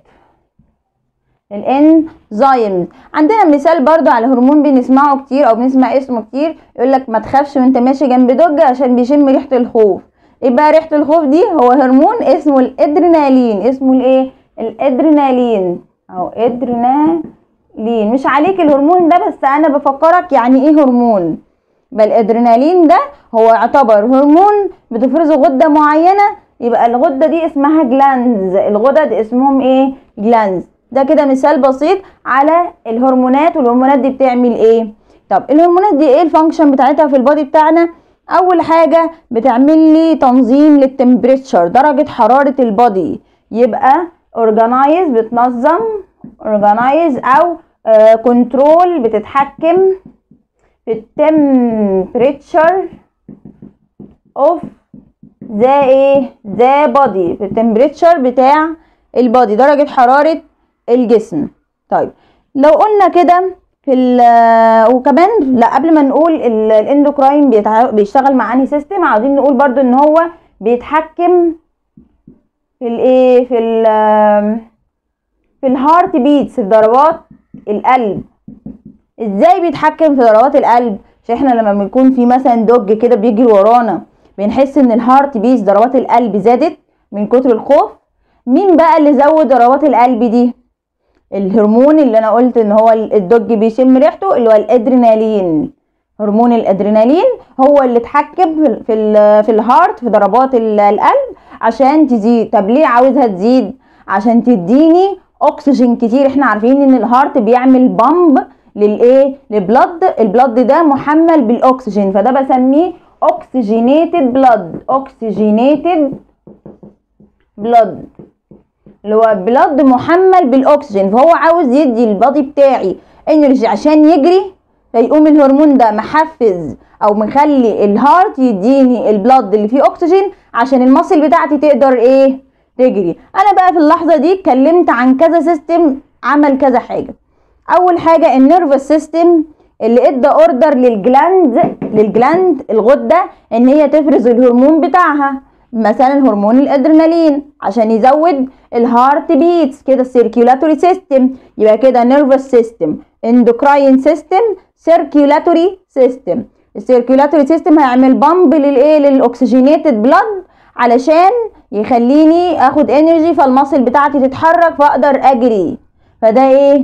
ده muscular system أو musculoskeletal system طيب وأنا بجري مش بتنفس كتير باخد increasing breath increasing breath اللي هو زيادة الإيه؟ معدل التنفس. فده برضو respiratory system. يبقى كده في كذا سيستم بيحصل بينهم interaction ولا مفيش؟ طبعا في interaction يبقى عرفنا كده يعني إيه endocrine system ال endocrine system ده اللي هو ال organ بتاعته ال glands الغدد. الغدد دي اللي بتديني hormones ال hormones دي اللي بتنظم لي ال temperature بتاعة ال body وبتنظم لي ال response بتتحكم في ال response استجابة ال body. respond يعني استجابة. استجابة الايه ال body في ال في ال dangerous situation يعمل إيه في ال dangerous situation طبعا بمساعدة مين؟ ال nervous system بمساعدة ال nervous system ننقل بقى على النقطة اللي بعدها. يلا بينا. system عندنا هو مين؟ هو ال digestive system ال digestive system زي ما إحنا عارفين ان إن ال digestive system هو اللي بيديني الفيول أو ال energy اللي بحتاجها عشان ال cell بتاعتي تعمل ال activity طيب إحنا الكلام ده بيحصل إزاي بقى؟ إزاي ال digestive system ياخد ال food ويقعد يحوله ل energy عشان يديني الايه؟ ال energy اللي أقدر أعمل بيها ال activities أول حاجة أول organ أصلا في ال digestive system هو ال mouth. تمام؟ أول ما ال food يدخل ال mouth إيه اللي بيحصل؟ طبعا بنعمل chewing مضغ.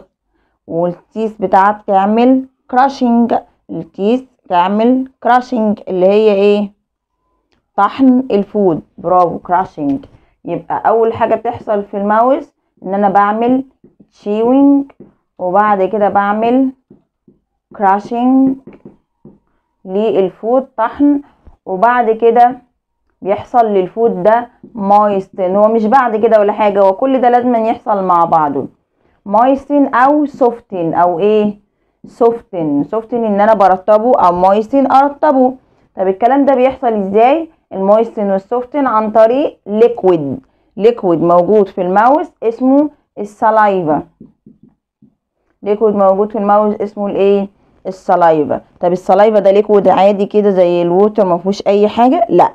جواه chemicals. ال saliva دي بيبقى جواها chemicals. جواها إيه؟ chemicals. ال chemicals دي اللي كان بيخرجها مين؟ ال endocrine system اللي هي ال glands اللي موجودة جوه ال endocrine system.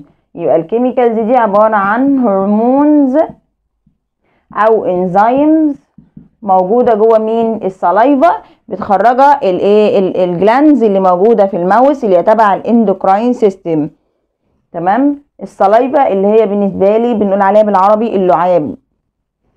في مين بيخرجوا بقى؟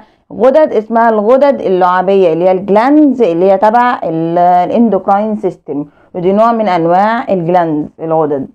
يبقى أول حاجة أو آخر حاجة قلناها إن ال saliva بتخرج ال chemicals وال chemicals دي زي الهرمون أو ال enzymes وهي اللي بتعمل لي إيه بقى يا miss؟ إيه لازمتها برضو؟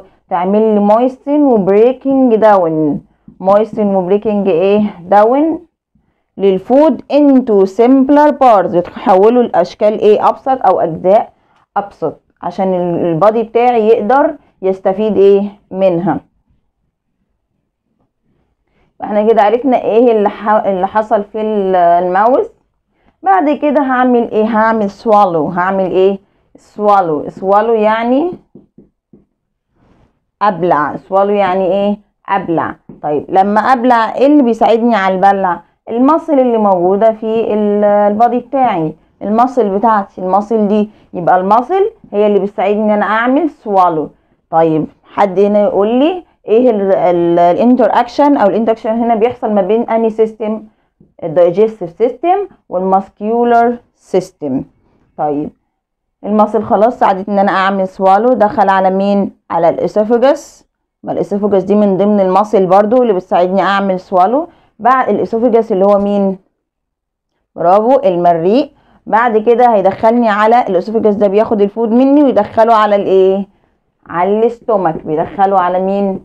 ال stomach ال food دخل ال stomach يكمل breaking down يكمل تكسير أو يكمل digestive أو دايجيشن تمام؟ طيب إيه اللي موجود في ال stomach بيساعد على الدايجيشن أو ال breaking down برافو chemicals تانية اسمها ال acids أو ال enzymes مش أو هما الاتنين موجودين مع بعض. acids وإيه؟ و enzymes ال enzymes دي بسميها ال digestive enzyme digestive enzymes انزيمات هاضمة. مين برضو اللي بيخرجها؟ ال endocrine gland ال endocrine system اللي هو ال gland اللي موجودة جواها. طيب وال acid دي, دي chemical زي ال acid acid بالنسبة لي مادة كده بنقول عليها acid حامضة زي مثلا الليمون. ده acid. ماشي؟ ففي جوانا جوه ال stomach acid برضو زي الليمون اسمه إيه؟ أو chemical زي الليمون اسمها acid. الاتنين دول بيساعدوا إن يحصل breaking down يحصل يحصل إيه؟ breaking down تاني بعد اللي حصل في ال mouth. طيب خلاص كده ال stomach عمل breaking down هيوديها مين؟ على مين؟ على السمول intestine. على السمول إيه؟ intestine.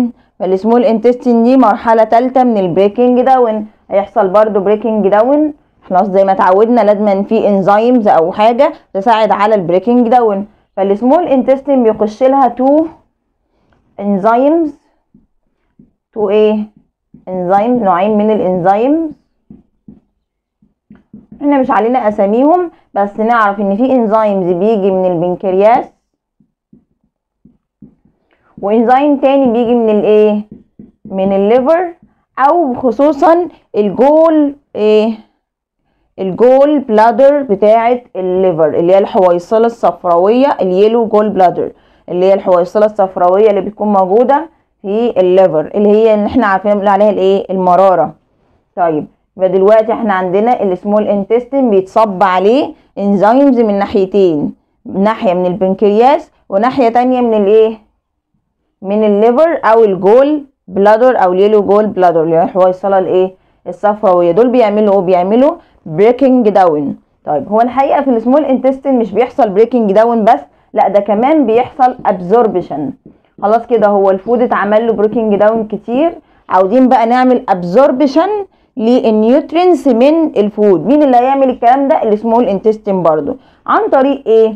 ال walls بتاعت ال small intestine فيها blood vessels فيها إيه؟ blood vessels ال blood vessels دي هي اللي بتعمل absorb لل nutrients بتاعه ال food طيب عملت absorb خلاص و... آه وعملنا breaking down ال undigest بقى خلاص اللي اتبقى ده اسمه undigested material undigested material حاجة مش هستفيد منها تاني اسمها undigested material undigested إيه؟ material طيب دي بتخش على مين؟ على ال large intestine بتخش على ال large إيه intestine طيب إيه اللي بيحصل لها في ال large intestine يحصل لها absorption تاني. هي دلوقتي لسه soupy لسه liquid ماشي؟ يحصل لها absorption بس المرة دي بعمل absorption عشان أخرج مين؟ أو أخد منها مين؟ ال water طيب بعد ما باخد منها ال water عن طريق ال large intestine بعد ما باخد منها ال water بعد ما كانت liquid هتتحول لإيه؟ ل solid أو. أو بنسميه feces solid ال solid ده بسميه feces أو stool أو stool ماشي؟ ده اللي. الجسم بيطرده بره عن طريق مين؟ ال anus ماشي؟ دي آخر organ في ال digestive system يبقى دلوقتي خلاص ال small ال large intestine ال large intestine عملت absorption لل water من ال undigested material ودخلتها فين؟ وديتها على آخر حاجة بس نقولها ال rectum ال rectum ده ده آخر part قبل ال anus اسمه المستقيم. ال rectum ده بسميه المستقيم. ده قبل ال anus على طول هو اللي بيعدي منه ال solid أو ال feces. يعني أنا لو رسمنا رسمة بسيطة كده دي ال large intestine ماشي؟ بتنزل كده. تمام؟ بتمشي كده ودي تمشي كده. بينزل بقى حتة كده مستقيمة. كده وبعد كده ينزل الايه ال anus الحتة المستقيمة دي هي ال rectum ال food يمشي يمشي يمشي يمشي لحد ما ينزل في ال rectum اللي هو بقى مش food undigested material. ينزل لحد ما ينزل فين؟ في ال anus ويخرج بره الإيه؟ ال body بتاعنا. ده بالظبط المين ال digestive system وعرفنا إزاي بناخد منه ال nutrients نقعد نعمل له breaking down لحد ما إيه؟ ما أعمل له absorption في ال في ال small intestine فتاخد منه ال nutrients وياخدها ال blood vessels يعمل لها absorption ليه؟ علشان يوزعها. إحنا عارفين ال circulatory system طبعا ده كده interaction ما بين ال digestive وال circulatory لأن ال blood vessels تبع مين؟ ال circulatory فتوزعها على ال body إيه كله. ال nutrients دي توزعها على ال body كله. نخش قبل ما نخش على النقطة اللي بعدها أو ال system اللي بعده عايزين نعرف كده معلومة. إن ال body بتاعنا أو ال muscle بالتحديد مش إحنا عارفين إن هي store لل sugar. علشان تديني energy بتخزن ال sugar اللي بيخش جسمي. علشان تديني ال energy ماشي. ال sugar ده المفروض إن هو glucose sugar صح؟ اللي أنا بستفيد منه اسمه glucose sugar. زي ال plant كده بالظبط لما كان بيعمل photosynthesis process فكان ال sugar اللي بيتكون عنده glucose sugar. طيب هل الجسم بقى بي أو ال muscle بتخزنه بتعمل له store على شكل glucose sugar لا ما بتقدرش تعمل له store وهو glucose sugar بتحوله الأول لحاجة اسمها glycogen glycogen دي ال chemical المادة اللي هي بتبقى إيه؟ آه الشكل المحول من الجلوكوز. عشان ال body بتاعي ما بيقدرش يخزنه على شكل جلوكوز فلازم يخزنه على شكل جلايكوجين جلايكوجين طيب لما ال body بقى يحتاج energy يخبط على ال muscle كده يقول لها أنا محتاجة energy أعمل إيه؟ حولي لي الجلايكوجين ده تاني لجلوكوز. فتروح محولها له الجلوكوز يبقى هي بتخرج الجلايكوجين ده حبة حبة على شكل جلوكوز لما ال body يحتاج الإيه؟ ال energy. يبقى أهم معلومة أعرف إن ال body أو ال muscle store glucose sugar على شكل جلايكوجين. بعد كده ترجع تاني تحوله من جلايكوجين لجلوكوز. يلا بينا بقى ندخل على ال system اللي بعده.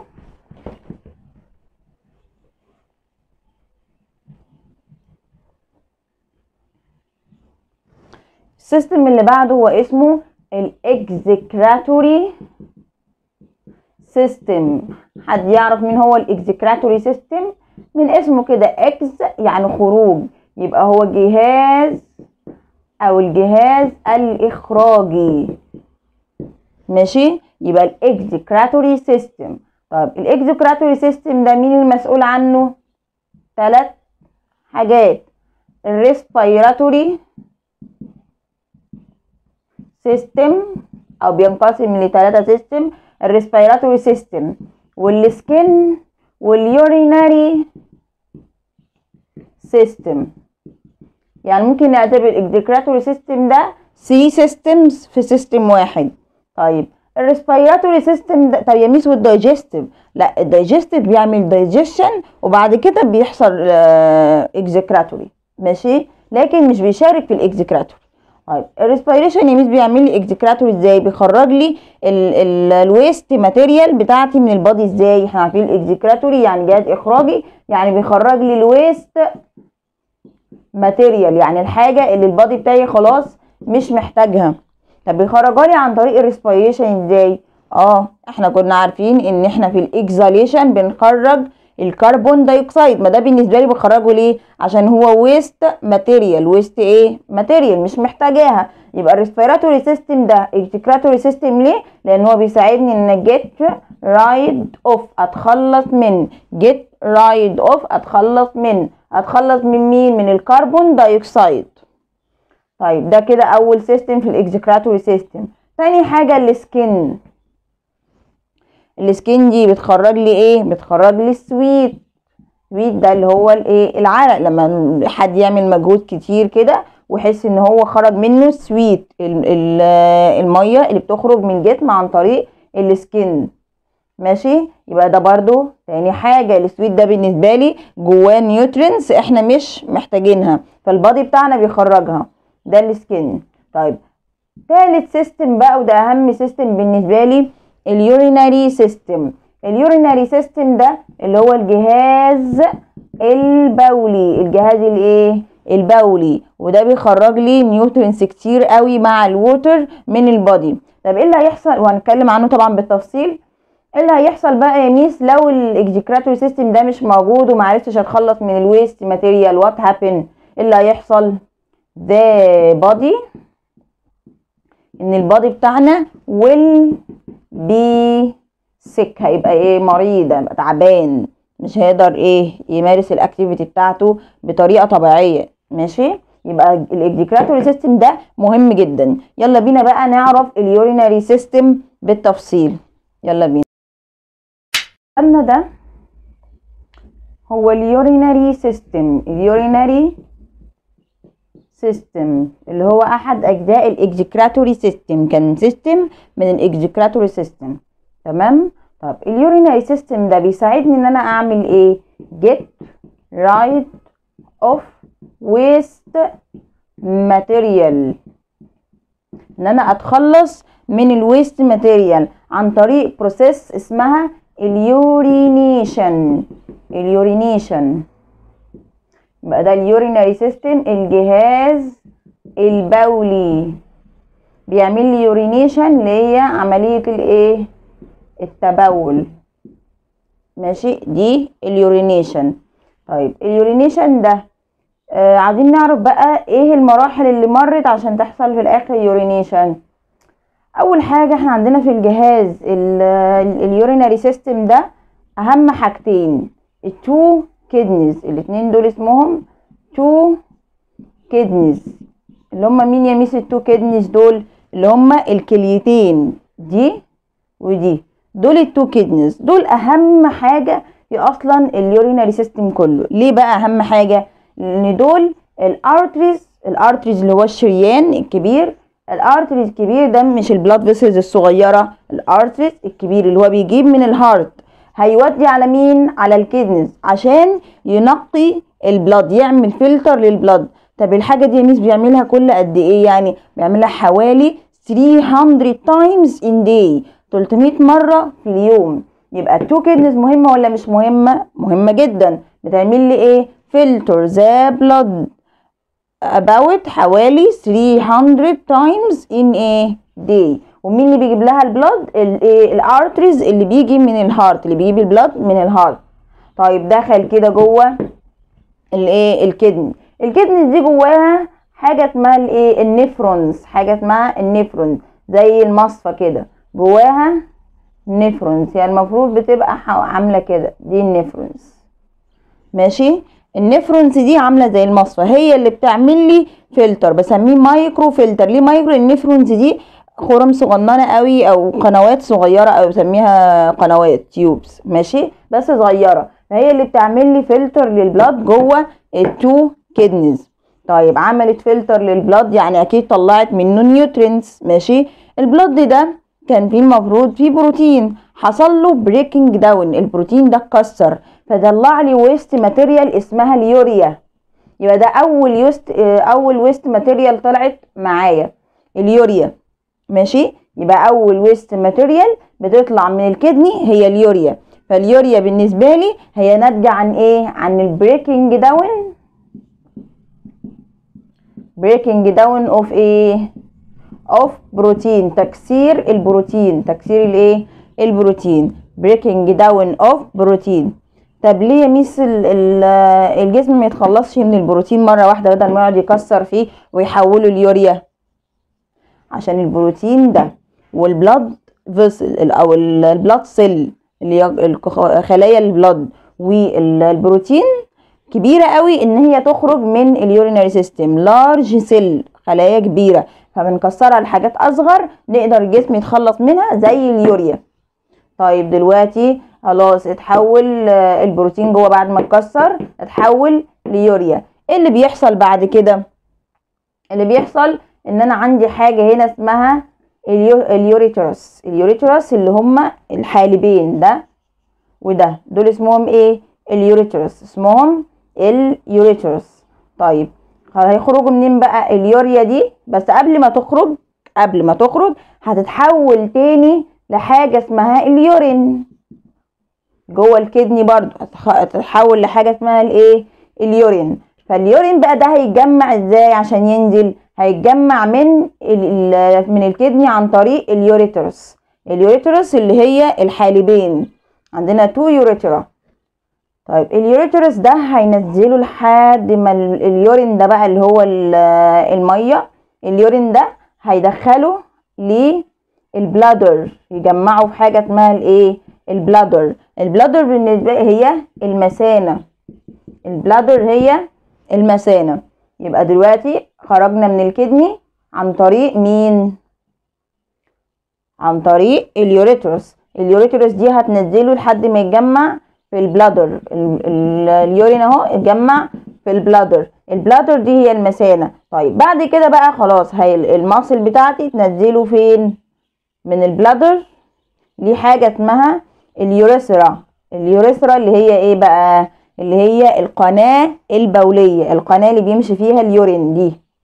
ال urethra القناة البولية. القناة الإيه؟ البولية.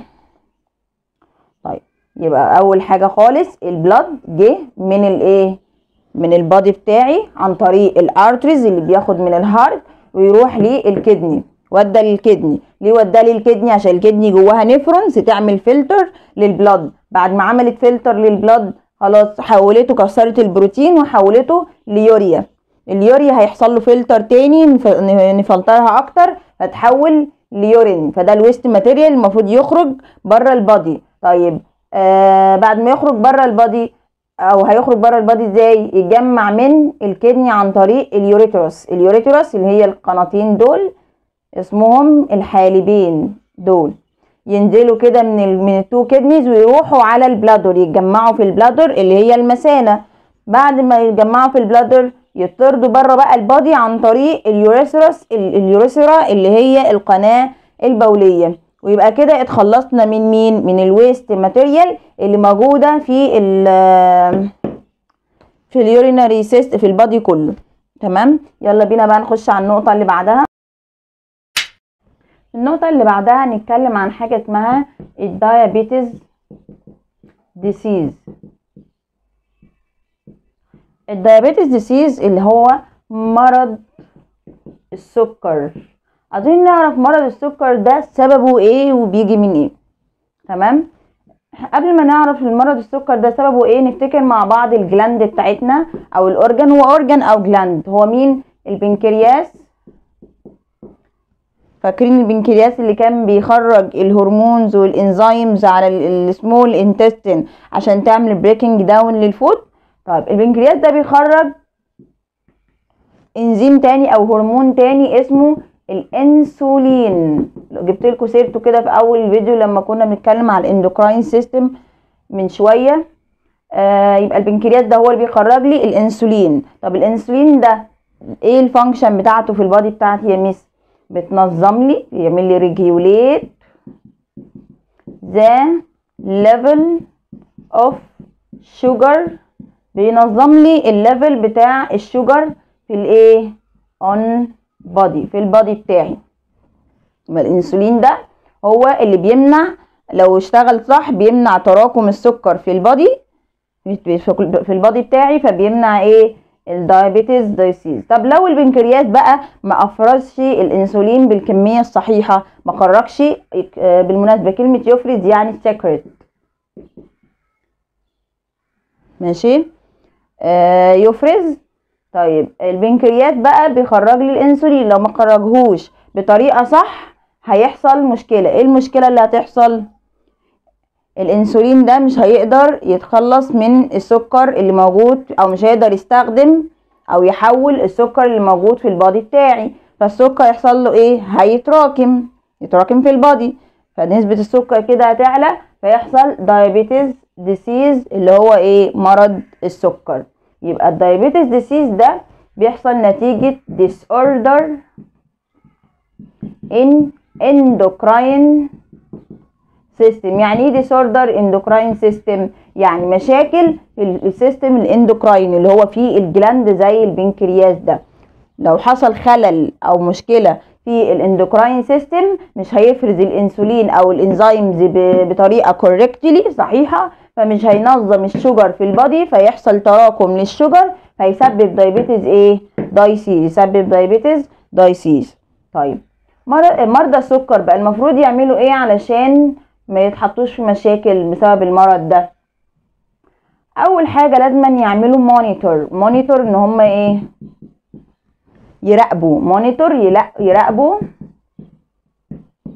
ال level of sugar يراقبوا مستوى السكر في ال blood إمتى يحصل له high عشان لو حصل له high أو low ما ممكن يعلى أو يقل. ممكن يبقى عالي ال sugar كتير أو ممكن يبقى قليل. ماشي؟ يعني ممكن البنكرياس ده يفرز الإنسولين بكمية قليلة فما يكفيش إن هو إيه يحول السكر اللي في في ال body فالسكر يتراكم. أو ممكن يفرزه بكمية كبيرة فيخلص لي على كل السكر ومفروض في نسبة معينة. فكده ممكن يحصل له high يبقى كتير أو low ال- ال- الم- المرضى السكر دول بقى المفروض إن هم إيه؟ يراقبوا يعملوا monitor monitor يعني إيه؟ يراقبوا ال level بتاع ال sugar ده إمتى يحصل له high أو حصل له low ماشي؟ طب بعد ما يراقبوا يا ميس وحصل كذا المفروض ياخدوا إيه بقى؟ ياخدوا علاج عشان يتحكموا في ال high أو ال low طيب ظهر بعد كده في أجهزة طبعا آه، بت- بتقيس الحاجات دي. في digital devices أجهزة إيه؟ digital كده. بتساعد على إن أنا أعمل monitor أراقب الإيه؟ ال level of sugar أراقب ال level of sugar طيب بعد ما راقبته المفروض بقى إن أنا خلاص هلجأ لل- للعلاج بتاعي. طيب في بقى أجهزة اتعملت تاني. إن هو بعد ما يراقب هو اللي يحل المشكلة هو اللي يحط العلاج. طب هو العلاج إيه يا ميس أصلا؟ مش إحنا عندنا مشكلة في الإنسولين؟ صح؟ عندنا مشكلة في الإيه؟ في الإنسولين. فالإنسولين ده لو في جوه ال body بتاعي أو يعني الإنسولين ده جوه ال body بتاعنا فيه مشكلة. أنا بقى ممكن أديه للجسم من بره. طيب ممكن أعمل shots أدي للمريض ده shots جرعات من الإنسولين. اديله جرعات من الإيه؟ من الإنسولين. الإنسولين ده chemical ماده كيميائية ممكن أنا أديها لل body من بره. يبقى shots of انسولين أديله جرعات من الإنسولين. ففي بقى أجهزة ما عندهاش القدرة إن هي تدي الجرعة وفي أجهزة عندها. لو ما فيش قدرة خلاص بياخد ال injection الحقن من بره اللي هو من ال- الإبرة عادي. طيب إنما لو في digital في بقى أجهزة digital بعد ما بيحصل آه إن هو يقيس ال level بتاع ال sugar هو نفس الجهاز بيعمل انجكشن للليفل اللي هو محتاجه من أو للكمية اللي هو محتاجها من الإيه؟ من الأنسولين. تمام؟ يبقى كده عرفنا ال diabetes disease وإزاي بيحصل ومين أصلا السبب فيها وإزاي نحل المشكلة دي. إن أنا أدي للمريض آه، جرعات من الأنسولين ممكن أديها له آه، لو معهوش الجهاز اللي هو ال digital ده اللي هو بيحقن بنفسه لأ آه، ممكن أديها له من إيه في الصيدلية بقى عند الدكتور الكلام ده. تمام؟ آه ولازم طول الوقت يعمل monitor يراقب ال level بتاع ال sugar حصل له high ولا حصل له low. وبكده يبقى إحنا خلصنا revision على concept 2 ويلا بينا بقى نشوف جزء الأسئلة. أول سؤال بيقول لي complete. When you touch a sharp thorn your hand move away. لما انت بتلمس حاجة فيها شوك بتبعد إيدك بعيد. صح؟ move away quickly. الكلام ده due to interaction بسبب التفاعل اللي بيحصل between nervous system and مين إحنا كنا قايلين إن أول ما ال brain يبعت message إن في dangerous situation مين اللي بيتحرك؟ ال muscular skeletal system أو musculoskeletal system هيدي لل muscles بتاعتي order إن أنا إيه؟ أشيل إيدي بسرعة. يبقى ده ال interaction طبعا muscle ما بتتحركش من غير مين ال bone. يبقى ده كده interaction ما بين ال nervous وكمان ال musculoskeletal system اللي خلى ايدي إيه تبعد quickly بعيد بسرعة. طيب تاني سؤال بيقول لي ال skeletal muscles ال skeletal muscles can store and use a quickly. كنا واخدين قبل كده إن ال cell muscle ال cell muscle لازم تستخدم ال energy اللي جواها ومخزناها quickly بسرعة. يعني وقت ما أحب أحرك إيدي مش لسه هتفكر إزاي تستخدم ال energy اللي جواها. يبقى can store and use energy quickly. تمام؟ When your heart beats and breathing increase لما ضربات القلب ومعدل التنفس increase بيزيد. Your body send a send more a blood to muscles and brain. تعالوا كده نفتكر مع بعض.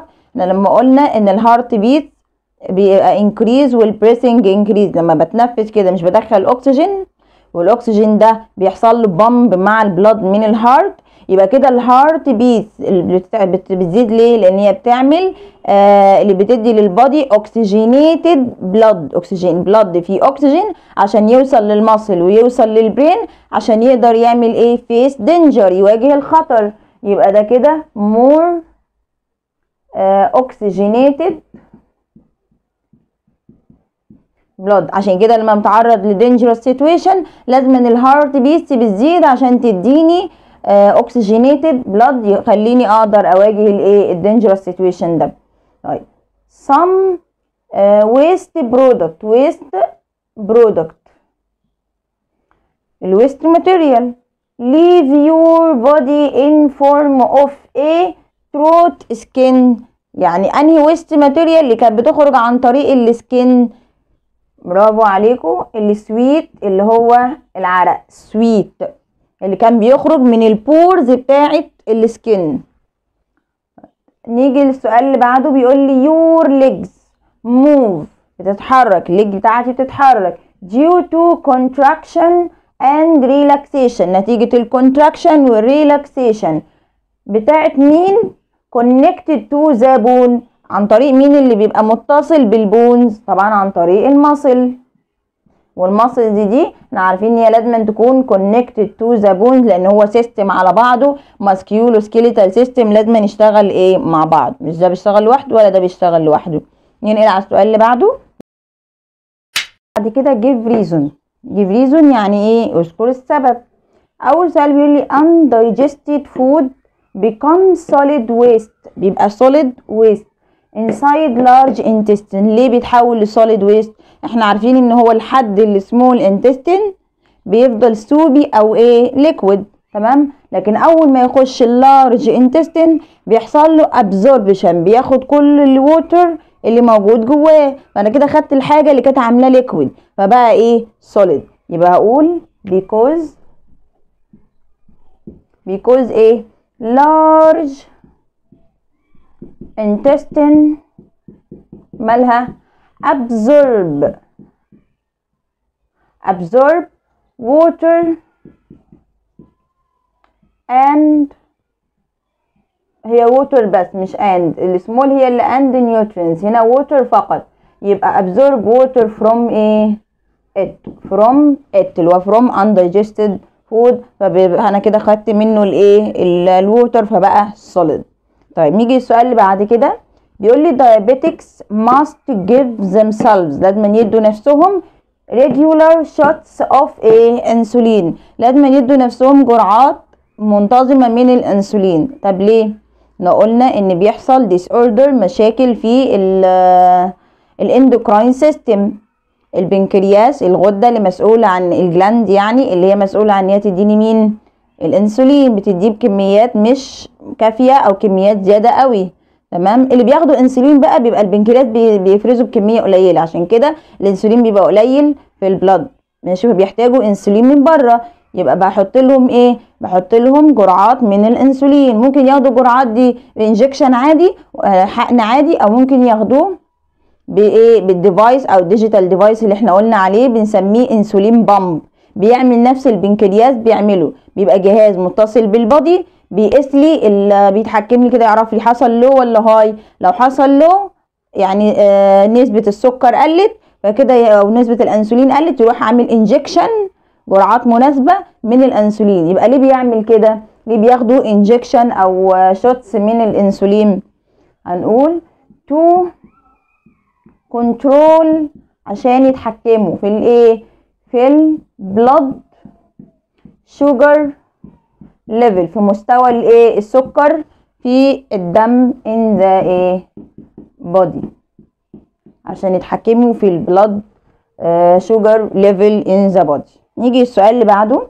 بيقول لي ال blood cells and ال proteins اللي هي خلايا الدم والبروتين كانت باص ذا كدنز إيه إحنا عرفنا ان في حاجة موجودة جوه ال kidneys زي المصفى وتكون صغيرة كده اسمها ال nephrons ال nephrons دي هي اللي بتعمل لي فلتر لمين؟ لل blood عن طريق ال arteries اللي كان بيدخل blood لل kidney فبيعمل له فلتر عن طريق النف... ال nephrons فبت إيه بتاخد منه ال waste material طب ليه المصفى دي ما بيقعش منها ال blood كمان وال proteins؟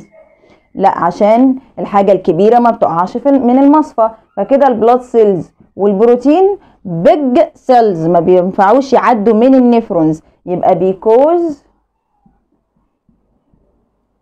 they are إيه عشان هما بيكونوا إيه big cells can't pass to the kidneys nephrons. ما يقدرش تعدي من الكدنيز إيه nephrons.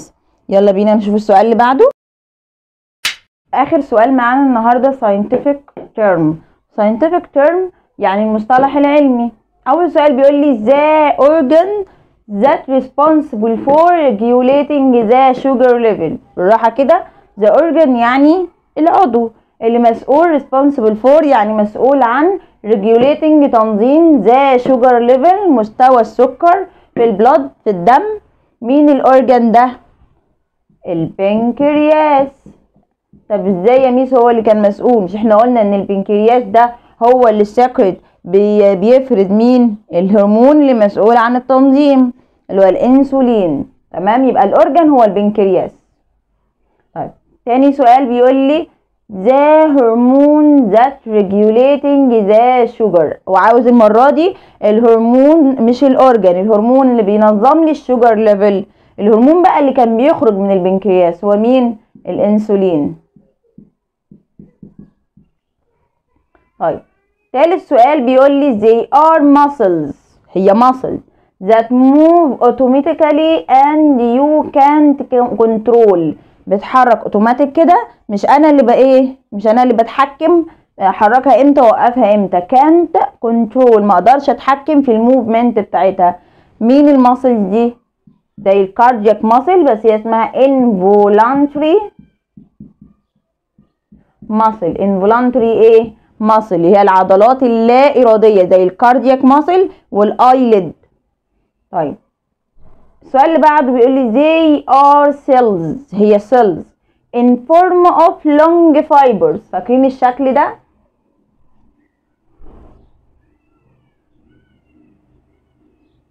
لما قلنا دي long fiber عبارة عن خيط طويل كده دي كانت ال muscle cell يبقى ال cell اللي تبقى على شكل long fiber هي ال muscle cell ال muscle إيه؟ cell طيب آخر سؤال معانا. The system that help body to move. عاوز ال system اللي بيساعد ال body إن هو يحصل إيه؟ move أو movement ده مين؟ ال muscle system لا.